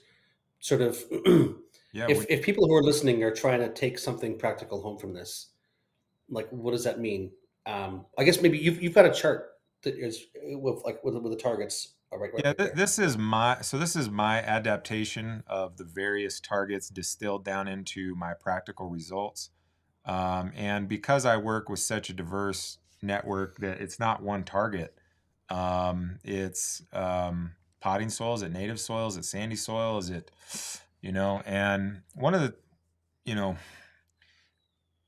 there there are certain things that tend to be consistent in my work. And this could be we're in a different era. There's more degradation, there's more chemical damage, there's more toxicity in the environment. Maybe you're needing more minerals. I personally find that like below 100 parts per million of sulfur, things tend to be a little bit more moldy. Uh, they tend to battle blights a little bit more. Um, so pretty much every situation, I try to keep sulfur and phosphorus above 100, which is something we've talked about. Some of these say 50. Your your um, history says 75, which isn't much different than 100. Um, well, I wouldn't say, I mean, I'm just thinking maybe our next presentation or next uh, conversation can be, I'm already, I'm already like, yeah, let's get, let's get 10 soil tests. Okay. And we'll just walk through them one at a time and make our recommendations and explain okay. to people why we'd make which, which recommendation. And if they wanted to learn by listening to us walk through 10 soil tests, actual reports, you know, like like I would do this and you do that, and the um, that's how I learned to be a consultant. do that right now, Dan. We can do that right now. Well, what do you want to queue up? Dan? I think I think we've got. I think no, we had your whole thing about weight. We have to get into today. Okay, this is a conversation that we're going to keep going on for a long time. Let's go back to where we were. I would just say about so about sulfur. Um, around here, if I see sulfur levels at 25, I'm impressed. Mm. Almost everybody's sulfur levels are like 8, 10, 12, 15. Wow. And so getting them up to 75 is like good luck. Wow. You know, so if we can get it up to 50, that's great. Certainly sulfur is critical for all kinds of, you know, enzymatic processes of building complex compounds and, and things like that. Hmm. Um, but so as I said earlier, when I'm trying to get, you know, if I if I do the math on how many parts per million of sulfur I need to get to 75, and I and I'm understanding that elemental sulfur is the material that is most likely to get you that systemic improvement, I might I might be recommending 200 pounds per acre or something like that, 300 pounds per acre. And I would, even though the math might say I need 200 pounds per acre of elemental sulfur, I would never recommend more than 75. Sure. Um, so just going through element by element um, and talking about how we're going to do that. Again, I don't have any experience with potting soil, uh, yeah. sort of the, the, you know the, the growing medias and stuff like that, so I can't speak to that. I'm just talking about about land. Yeah, and and what's what you're saying is there's there's max application limits, and it's even different for each element. So you could yeah. pile on several thousand pounds of calcium and not probably cause any problems other than disrupting balance. But you put, like you said, 7,500 parts per million of sulfur, you're probably going to burn most vegetable crops, you know? Yeah. Yeah. And so th- how I break this down is again, I'm trying to teach a class that, you know, I've got a hay farmer, I got a cannabis farmer. I just did a um, uh, runway extension for an international airport that requires Yeah. chemistry. Same general ideas, but different targets. Um, and so what I've got here is in native soil. This is kind of my general baseline. And then we've got, I've got two phases for potting soils. And the reason why I do that is the cannabis industry is dead set on maxing out everything. And I personally believe that you should balance to a lower target first, Yeah. get that consistent. And then once you've managed variation, which is a whole three hour conversation in itself, once you've managed variation, then you can start to go to higher and higher levels. But almost every class I've taught now, there's at least one person in there that goes straight to max application limits, and that's that's not the way to go. Um, Yeah. Couple things that I've kind of figured out that uh, slightly changing the ratios that if you would get sulfur equals to phosphorus equal to potassium, you increase the level of negatively charged items, which allows you to run higher levels of calcium, magnesium, potassium without driving the pHs up into the eights, um, which is a significant advantage in the potting soil world. Again comes back to something I think we both agree on is if you're disregarding the balance of what's there, you're missing the entire thing. Um, and it is a range, and it does determine slightly. It, it is slightly different for. Sorry, my little zoomer is having a hard time today. Sorry, I'll just leave it alone. But um, what I do find is in potting soils, it, it just simply requires more calcium because it's an unnatural substrate and it doesn't adhere to the compost and peat moss and coco coir the same way that natural um, components do. So well, what kind of calcium are you using? I personally use at least three sources in every single mineral recommendation. Uh, Mhm. for the context of regulated cannabis, it gets really difficult to increase nitrogen with blood meal, feather meal. You're just asking for um, pesticide, insecticide, Oh, metal yeah. contamination. So that really only leaves you like fish meal, fish bone meal, which are pricey, but at our scale, they're appropriate. Those are those are calcium sources. The, yeah, they're the yeah. That's one of the main reasons I well, not the fish meal. The fish bone meal contra- contains four percent nitrogen, uh, nine percent phosphorus, and twenty percent calcium. So it gets me long term bone calcium. It helps me build up phosphorus levels, and then you get nitrogen that's very rarely contaminated. Uh, yeah. so I use that on almost every single recommendation. I use some oyster shell and some uh, gypsum on every single mineral recommendation that needs calcium. And what we found is because we're able to put more minerals on and we can build the higher levels, you have to now pay attention to well, how much sodium are you inheriting from that oyster shell? So there's kind of limits to fish bone you can do per harvest. There's limits to uh, oyster shell because keep in mind we're doing this four crop cycles in a calendar year, so we're Yeah. radically accelerating the process, which you have to be really mindful of contributing things that are problematic. Which in living soil systems, sodium is one of the most problematic. There's not a lot, of, a lot of options. Yeah. uh, except for time. I never use any any animal products, any blood meal, bone meal, feather meal, Oh wow. um, composted chicken manure, none of that stuff. I'm Right. like, I'm like a rocks. Give me some rocks, and um, like we'll get some mulch and let the earthworms digest it. Let the earthworm castings be the be the thing. Yeah. Um, That's a good strategy. We just uh, see now. it takes a little longer, I guess, to make it bioavailable. But if you're if you're composting, if you've got if you got earthworm if, any kind of earthworm system, um, where you're making work castings or whatever, then Right. you can put it in there.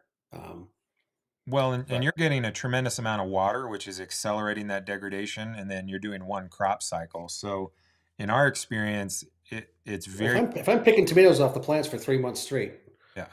um, does that count as one crop cycle? well. I I mean, I, get- I it depends on how. Yeah, Well- Seventy-five or hundred pounds of tomatoes off one plant yeah, takes takes a couple months for that to happen. I, I, I consider that to be just like I want plants Yeah. strong and functioning until it's too cold and they die. totally. Um, Which I, I just want to clarify. You've mentioned that like you had these results, and you mentioned that they were killed by the frost, which for those who are unfamiliar, that's a good thing. That means that they made it through the entire As opposed to being killed by disease or insects. Exactly. Right. Yeah, and you've exactly. mentioned that before, and I just for those that don't understand, that's that means he whew, s- significantly went went through there.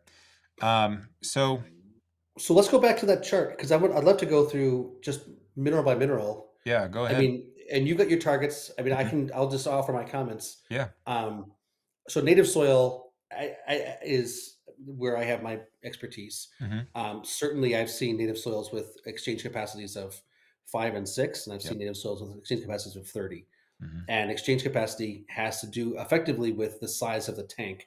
Yep. Um, is what I like to use the metaphor of. Like Mhm. if you've got a an F three fifty on one side of a um, at a gas station on one side of the you know the where you're getting filled up, on the other side you got a you got a, um, a motorcycle. Um, you know the F three fifty may be able to hold twenty gallons of gas. The motorcycle's only going to be able to hold one gallon of gas, and that's just the size of their tank and what they're capable of, of doing. And um, they can both maybe drive at eighty miles an hour, but one of them can pull ten thousand pounds, and one of them can have two people on it. Yep. And so a low exchange capacity soil is one that does not have a lot of bonding sites. It can only it's more like that that that motorcycle. It's it's got a smaller capacity and the and the, the F350 might be like a heavy clay soil out west. Um, Yeah. So I would say the range in exchange capacity is much larger. I definitely try to keep the pH range at a more uh, closer, like 6.4 to 6.8 um, as a target. I would say the organic matter percent, I like it to be more like five at least. Um, five, six, seven, eight is what I'm aiming at. Uh, anybody who's at one or two or three, I mean, they get basic system function, but you're not really gonna, ever going to get full system function. Um, as far as I'm concerned, at that level, it's just not sufficient. And I'm not trying to build organic matter by adding compost. Um, I'm trying to build organic matter by growing healthy plants that are sequestering carbon through their plant root exudates. Um, so, so if you, I mean, you can. Some people will will make they'll make garden beds and they'll put a, you know, two wooden walls and and, uh, and two ends, and they'll have something come in the back of a truck, which is they call it soil, and they fill it up, and then next year it's you know two inches from full, because a lot of that organic matter that was in the compost is now carbon dioxide in the atmosphere because it oxidized. So I wouldn't call it stable carbon. It may technically be organic matter, but it's not real soil, um, real soil organic matter. Yeah, and we, we see the effects of that, like I said, radically accelerated doing four seasons in a calendar year. You really Yeah. see what burns off organic matter and what builds organic matter. Uh, and Yeah. the, we just had a farm that we've been working with for quite some time now that took a break from putting the leaf material onto the soil and more mulching, and their organic matter is taking a nosedive. They've just had two harvests putting leaf material back on, and now all of a sudden it's building back up, and they had a really like whoa moment, you know. Um, yeah. yeah. But I mean, are there people that are growing indoors that are using actual soil as a as a media? I mean, as a I mean, No, subsoil and rocks and paramagnetic materials and stuff Well- like that. I mean, it's, Well, yes and no. So as far as like as far as like scooping dirt and putting into a pot, when you put it into a pot, those characteristics of soil that are good in the ground are very problematic in a container. yeah, So you, in, in a container and indoors specifically, it needs to be much lighter or else it's just kind of a muddy mess. And I don't understand why that why it works in the ground. Maybe it's because it's got you know thousands of feet of whatever doing something that I don't understand. But there's mag- paramagnetism. There's there's there's uh, there's the, the tidal force. There's totally, yeah. And so but I think I think I've heard of some marijuana growers who are doing that, who are putting, you know, paramagnetic rocks as, Right. as part of their thing, and some kind of gravels and sands and oh yeah, and stuff. Is that not a something you're aware of, or sure. And I we yeah most most people in the living soil world in cannabis are incorporating some level of paramagnetic basalt. Uh, the problem then becomes is there's a whole camp that thinks that that's all that needs to be in the soil, and that does not perform very well, in my opinion. Uh, you need to address cations and anions and trace 100%. Yeah, you can't just put 40 pounds per cubic yard um, of rock dust, which whatever 40 times 800 would be, that's how many pounds per acre they're doing. Let's see, Yeah. 40 times 806.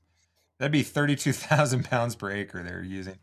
30, that's, not, that's not too much. It's Uh, only it's 15 tons. Yeah, I mean that's a decent amount, but That's a decent amount. Well, and so yes, but what what I see in the cannabis world specifically is significant bifurcations in what they do and what they focus on. Very few people put the comprehensive system in there. You need some lava rock for aeration and long term.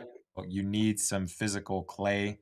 Uh, you need um, organic de- matter. definitely some nice clays in there. Yes. Definitely some nice clays in there. Yeah.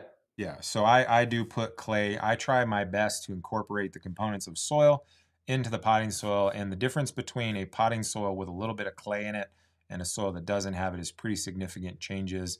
Uh, the paramagnetic gets tough to measure because it's tough to get apples to apples to apples to say, uh, but I will say it absolutely contributes positively for sure. Um, Mhm. and there are people doing lots of things. The problem is in the cannabis world is that from the various cannabis gurus, they've been trained to ignore all this and to poo poo people that do soil testing. And that, I would say in cannabis, in the last couple years, we're kind of in some of the worst results industry wide, while also having results we've better than we've ever achieved. So it's kind of a weird time. Um, and there's a lot of new people to the market. I've been professionally advising the commercial scales of cannabis since 2009.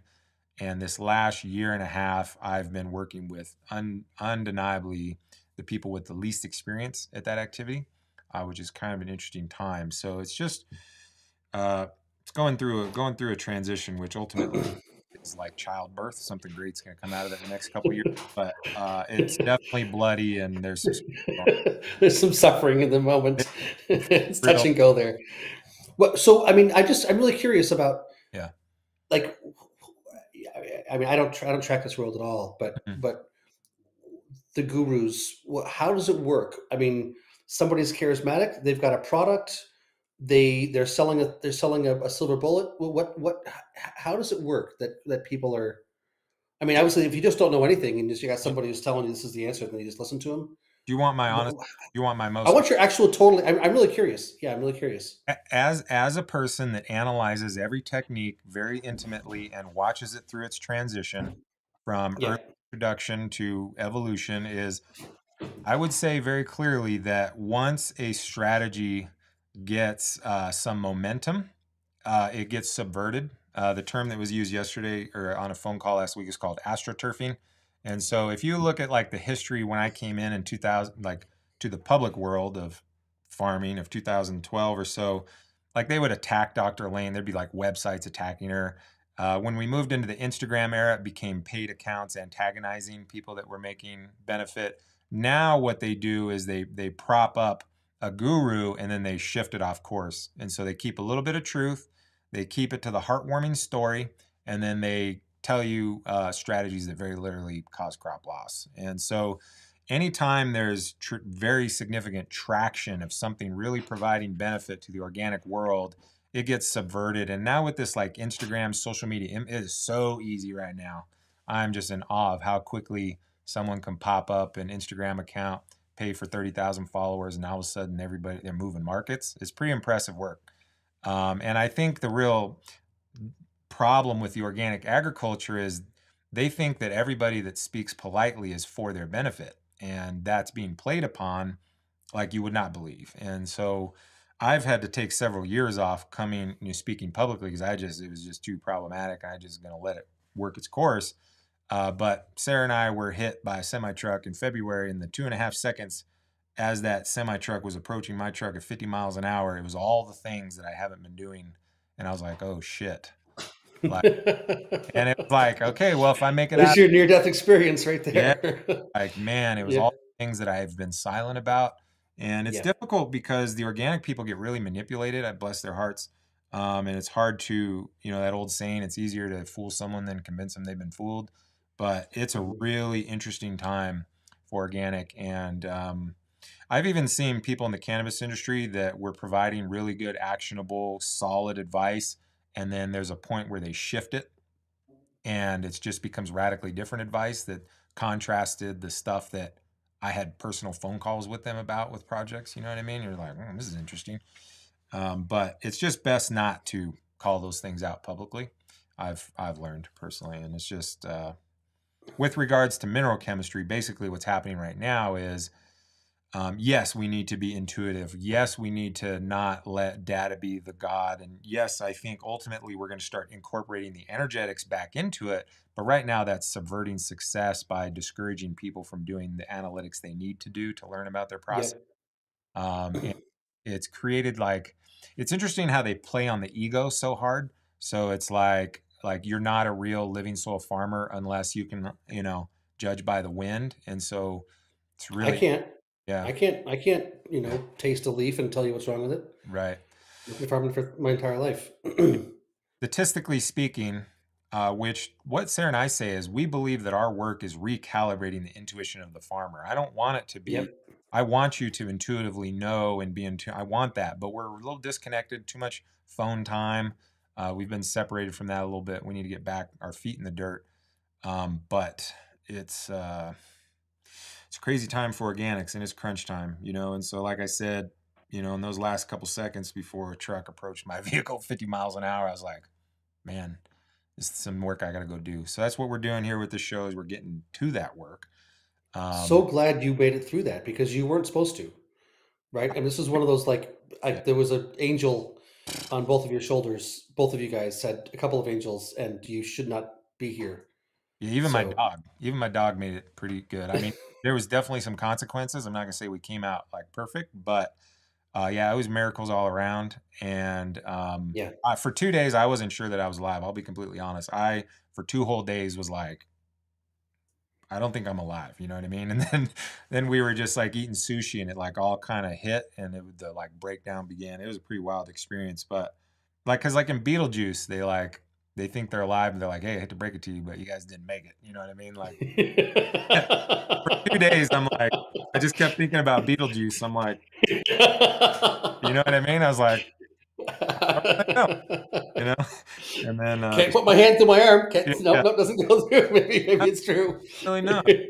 So yeah, that was uh, so so we're you know, I guess the But I mean, there's a really important point there about yeah. about how good information is taken sideways and manipulated. And you don't. What I think I just heard you say was you don't want to name names. No. You don't want to call people out, not. but you're seeing this, and you know, I mean, what what's what's the um, what's the inoculant? How do we how do we create a dynamic where where people who are um, looking for real information cannot can know they're not being taken for a ride or or is it just that's what happens with most people they don't really know and they're just going to follow the lead and you know manipulation propaganda you know is so sophisticated at this point in time that you don't need to convince everybody you just got to convince 85% of the people who don't know any better and as Yeah. long as they're saying it loud enough than everybody else then it's just a oh. it's just a it's a mess and, and I'll be honest that I don't know all the answers. Like I, when I originally started this, my goal was to make the farms that were undeniably better than anybody else on the planet and let that drive the market. And to a certain degree, that has absolutely done that, but it hasn't made near the effect that we intended. And those people that we worked with aren't sharing how they did that. so um, it's kind of created this weird dynamic. My my only strategy is you can't fight things. You can't push against things. That was my old strategy. Coming from Southern California, we're down for a bar fight. And so, uh, you know, I tried to take it head on, which was really only bad for my health, didn't really move the needle at all. Um, and I played into the attack of me to where um, it made it easier for them to discredit me and realize that was just terrible strategy. Um, so, what I'm doing now is I'm just creating a force of people that are so remarkably educated to our degree that they, they what el that's the, what I can do. And so, you know, yeah I've probably had a hundred people in the soil balancing class in the last year and a half that we've been doing it.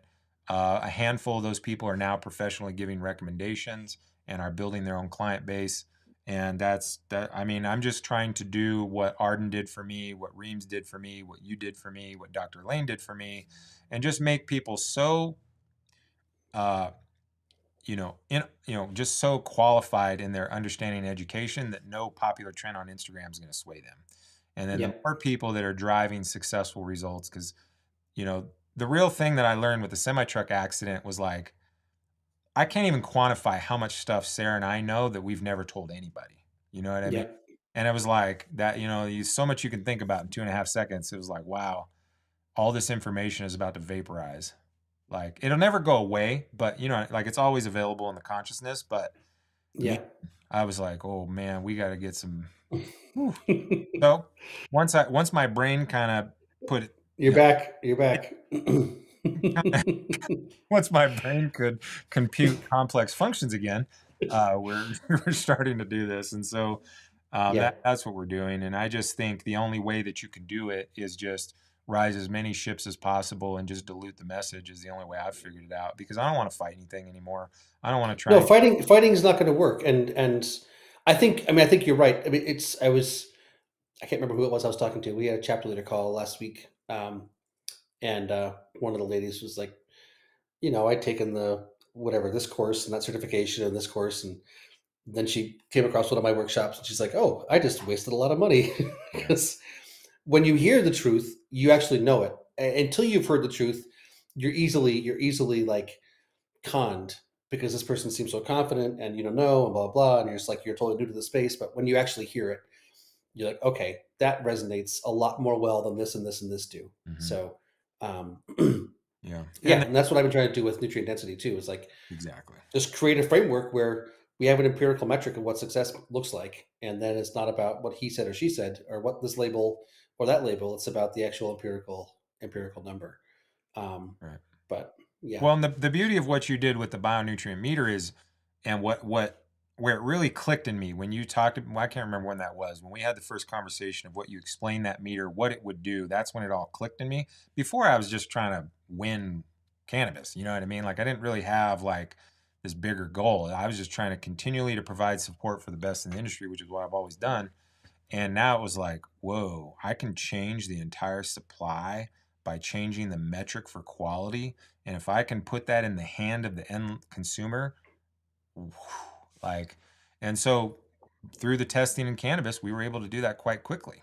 We solved that, solved that conversation. And now, you know, I've, I'm having farms call me. Like one of my buddies uh, runs the largest um, outdoor farm in California, and they're chemical. And he called me about eight months ago, and he says, "All right, the team's ready to switch. Um, we're now seeing market prices at the dispensaries. The only product that's maintaining its value has these parameters of quality and is grown in this fashion. We're ready to make the switch." And you know, they brought me out to their farm for the first time in 2018. They're just like, "Nah, not interested." You know, and now it's like now the markets. It's not a core part of their belief. It's the market is making the decision for them. And That's that was always my my my thought was it wasn't going to be people doing it for the right reasons. Mhm. I mean, it's going to be them doing it because it's the only way to make a living, and Yeah. whatever. I'm if fi- we've created a reality where metrics are real, Mhm. and and better is identifiable, and the only way you stay in business is by hitting the metrics, and those correlate with nutrition and soil health, then so be it. You know, not everybody's ins- driven by saving the world. A lot of people are driven by paying the bills. Mhm. um, and that's not neither one is right or wrong. They're just they're just reality. So, Mhm. yeah. Well, I'll, I'll, no, I was incredibly inspired by your message on and your purpose and your methods and your approach for trying to modify the food system. And prior to that, I was just trying to be good at a career and have a nice life. And it was more ego based of like, well, I'm working with the best, I'm doing the best, and we're getting the best. But then it was like, if I just make a slight shift in my approach, I can actually have worldwide change. And that's pretty damn, yeah, you know, wouldn't like, that be fun? There's Yeah. there's an ego trip for you. Which there's still plenty still plenty of ego involved. Don't? Oh, and it challenges me at least year, at least once a year. It, it sucks me every time. And you're like, okay, what are we doing? Are you doing this for ego? Or are you doing this for you know? And Yeah. it it well, I think ego's got its place. Everything's got its place. It just has to be. Yeah. Yeah. okay. anyway, we've digressed from our, Man, from so our far, it's- It's okay. I, I hope people are still following along. We can cut it out. I think I think it's good to balance the balance the numbers with the with Mm-hmm. the stories. Um, yeah. Yeah. So I guess to wrap up, I think we've, you know, we can do a whole session and really deep dive, but the general concept is you need you need a balance. You need a balance of what's there. Um, yeah. Can we just talk about the trace elements for a second? Yeah, let's do before it. we run out of time. Yeah. I'll just offer my, my numbers and you can talk about yours, but I just um I see you're at one to four, two to four with boron. I usually say three is my target in a soil. Um, again, that's oftentimes uh, people are usually at like 0.1 or 0.2 or 0.3, so they're like a long ways out. Um, I think my my max application rate is uh, 15 pounds per acre of solubor or boric acid, and Mhm. it's 30 pounds per acre of um, borax.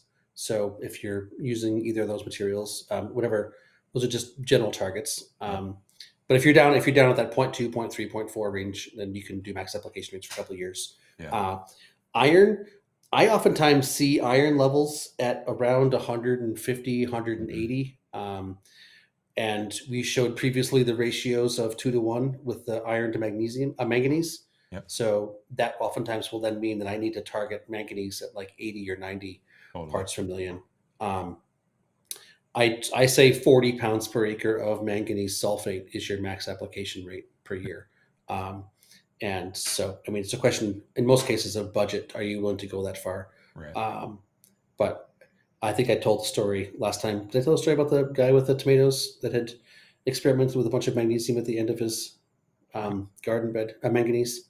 One of our board members, uh, Derek Christianson at Brix Bounty Farm in the south coast of Massachusetts, was a he's been studying all this stuff for many years. Um, his, his name of his farm is Brix Bounty Farm. He's he's definitely on the on the bandwagon, and um, he was doing an experiment with manganese, uh, which is a reproductive element according to Reams, and uh, he had everything else dialed in, and he's like, as a good scientist would do, he was gonna experiment, and so he instead of doing forty pounds of um, manganese sulfate per acre, he did four hundred um, at that very end, and uh, the fronds on the cherry tomatoes, instead of having like 15 or 20 uh, fruit per frond, they had about um, 100. So we did 80 and 100 Wow.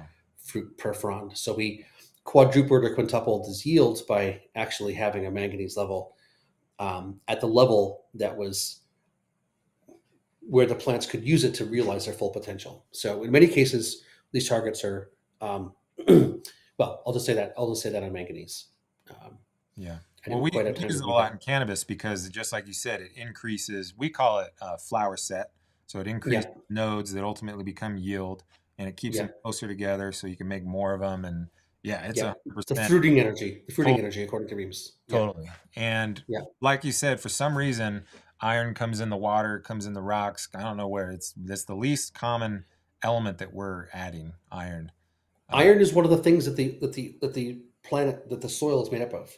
I think I said iron, oxygen, silica, and um, Ah, and uh, aluminum are the four things that the soil is made up out of. that makes Um, so undeniably the least common thing I put on a recommendation. Every now and then, maybe a couple times out of a hundred, manganese is higher than iron, but very rare. Yeah. Yeah. Yeah. um, so zinc and copper, I have a target of five and five and ten. Yep, and that Mhm. same that same two to one ratio.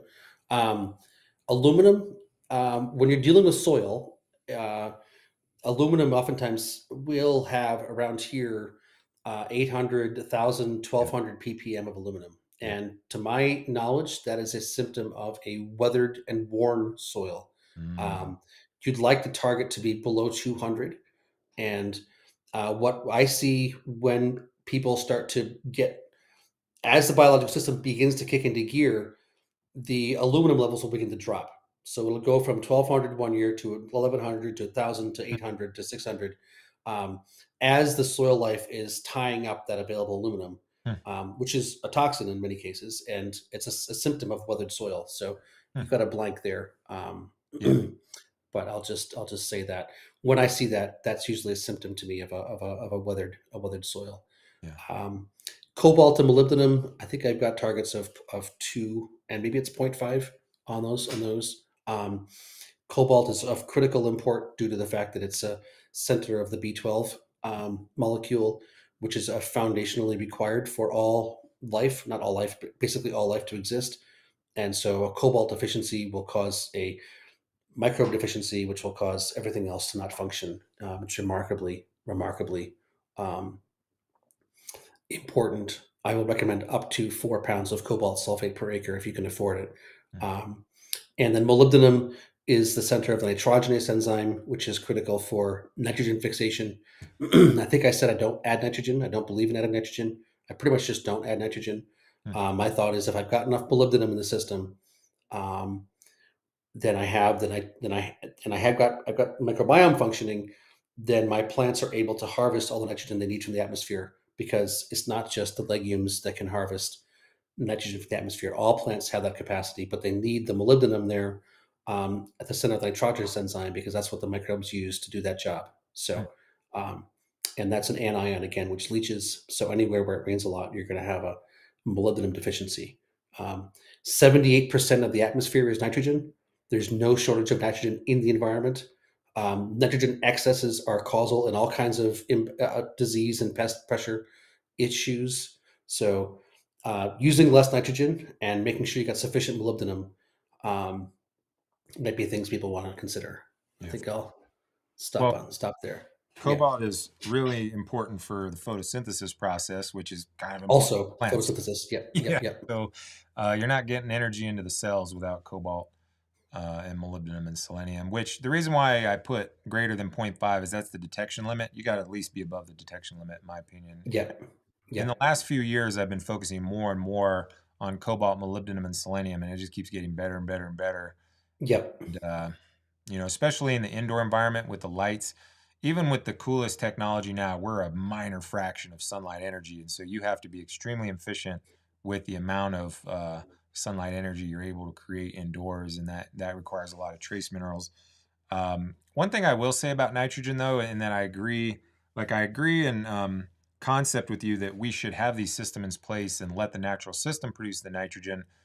One thing I'm really, uh, I think, good at is patterns and pattern recognition. And yeah. undeniably, one of the most consistent patterns in people that have come to me for the first time that have never done soil testing, uh, that, that are just kind of scratching their head and can't seem to solve it, their nitrogen's down below like 25 or 30. Um, and mm-hmm. it seems like, you know, and this is where I very radically veer away from, uh, you know, the soil food web advice of, you know, whatever, whatever. But um, things. What is the soil food advice? Say it. Well, it's uh, you know that you shouldn't have to put on any of these things, and then nitrogen, okay. which nitrogen yeah. is a byproduct of biological activity. But I would define myself as an expert in execution of biological technology, and when yeah. nitrogen soil is below 50, that system's harder to get started.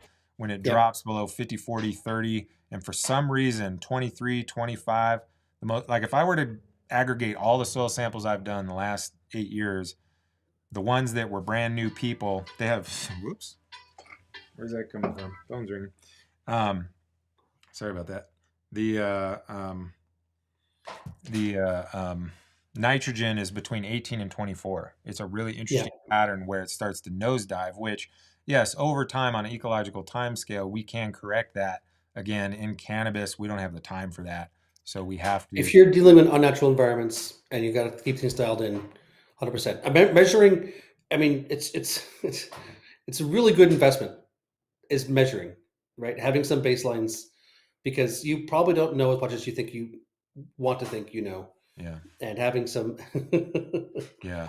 Well, and for, for but all... again, don't just send the, your soil off to University of California or University of Montana, right? I mean, you got to send it to the kind of lab that's going to be looking at it the right way. To go back to that point we started at the beginning, which is a big leap for people. Which yeah. is a big leap for people to be like, ah, okay, so you you guy from the internet is saying that I should disregard the university. I'm like, well, yeah, actually, yeah, I am saying that systems rigged. Mm-hmm. Yeah. Um. So anyway. Yeah. Anyways, um. So I've got some soil tests. I don't know if we got time for those. Do we want to go over the weight? Uh, considering. I think I think we should pick this back up again and do it and do and do more next time. Okay. I'm not sure how many how many people have have yeah, offered comments. I've only seen a couple so far. Some questions here. So, um, so we've got one from Lisa. How do home gardeners avoid pesticide? Which is a two-hour conversation. uh, okay, we'll put that on the agenda for future conversation. Yeah, by having healthy plants. Yeah. The, uh, the right. short answer is you're not going to do it if you're not managing chemistry and if you're not paying to biology and if you're not paying attention to water chemistry because it's just too much to too much to too much to deal with there. But a great a great conversation for the for that constituency. Yeah, yeah, which I'm not sure if we answered this one. Can you explain Reams' avoidance of dolomite? Is it an energetic issue? Um, which, and then he does he does say in the book. So Sean's reading biological ionization right now, I believe. Yeah. Mm-hmm. And I believe it. You know, he talks about getting magnesium from the air. Um, so I, I mean, as I said, it's been probably almost 15 years since I was head down in the Reams work. Mm-hmm. Um, so I can't I, I don't I don't I don't remember the exact details. I will say there's this thing called biological transmutation, which Yeah, I think is a real thing. Um, and uh, the book there is uh, Kervran. Um, it's called Biological Transmutations. C. Louis Kervran, hmm and the and the basic concept is that um, atomic weight 28 plus atomic weight 12 equals atomic weight 40. And even though we can't do that as as humans, we can't make atomic weight 28 and atomic weight 12 come together to make atomic weight 40. Right. It seems like microbes can do that. hmm Um, they have the ability to, you know, we want this atomic weight 27 and we got atomic weight 30 here. Well, let's, you know, we'll pull a pull a helium off or whatever, a helium and a hydrogen off. And um, so the ability to, and this is what isotopes are. If anybody's ever looked into isotopes, again, a totally interesting conversation that we can have time for later. hmm Um, so um, I don't know the answer, specific answer to your question. We'll get Um, we'll get back to I don't think he was against against all magnesium sources. I think he was very much Mhm. against dolomite, is what I recollect. I Yeah, don't remember him being against other Yeah, sure. I tried to look it up. I tried to look it up last night. One thing I will say is, you know, when we got through the Dr. Elaine camp and we're fortunate enough to work very directly with her um, and have some really cool conversations, she seems pretty adverse to the concept of transmutation. But if I'm working with a soil that has cobalt below the detection limit and photosynthesis is still happening, please tell me what's happening. Like Well, uh, Jerry Brunetti did this test. He was doing this. I can't remember. He was doing something in in, in uh, Appalachia. They were doing some coal mine um, re was ever like was it was a it was an old old coal mine. It was just a wrecked area, and they were trying to bring it back to life. And Mhm. and uh, and I remember I don't remember the whole story, but effectively they had some potting soil and uh, or some soil they in a pot, and they did a soil test on it, and they couldn't find any boron. Um, um, and then they planted uh, nettle in it, and nettle is known to be a boron bioaccumulator.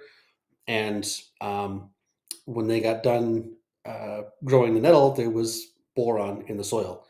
And so the question is, where did the boron come from? And it looks like the boron came from the act of the boron growing there. So when people talk about bioaccumulator plants, they aren't necessarily pulling things down from a, from below and pulling them back up. They may actually be specifically capable of facilitating the transmutation of these specific elements. So Right. right. again, I don't have the full citations on everything on that. I, I recommend C. Louis Kervran's work, um, um, but I, it does seem to me that nature has some pretty powerful functions, uh, capacities that we haven't necessarily all been exposed to. Um, Yeah. but there's good science to support them. Yeah. Um, and I, I personally believe it happens because nothing else seems to answer the question. If it's not transmutation, it's something else that's doing the stuff we don't understand. You know, like it's it's stuff appears where it was not. like where's it coming from? Eh, Which is totally cool. And then they got to figure out how. And if it doesn't fit within your current paradigm, that means your current paradigm is wrong because Yeah. it did happen. Then, then what, how did it happen? Yeah. Yeah. Um, two to one P to K ratio. Um, that I'm pretty sure comes from the Reams work and is not part of the Albrecht story. Mhm. Um, so I, I, you know, as I said, I have not been using that, so I can't speak much to that. well, and is and is it? Are we talking about phosphate and potash? Because those are not one to one, and so it changes the ratio because phosphate is only forty four percent phosphorus, and potash is only eighty three percent potassium. And so my numbers are in parts per million, which has converted that to make it a linear relationship.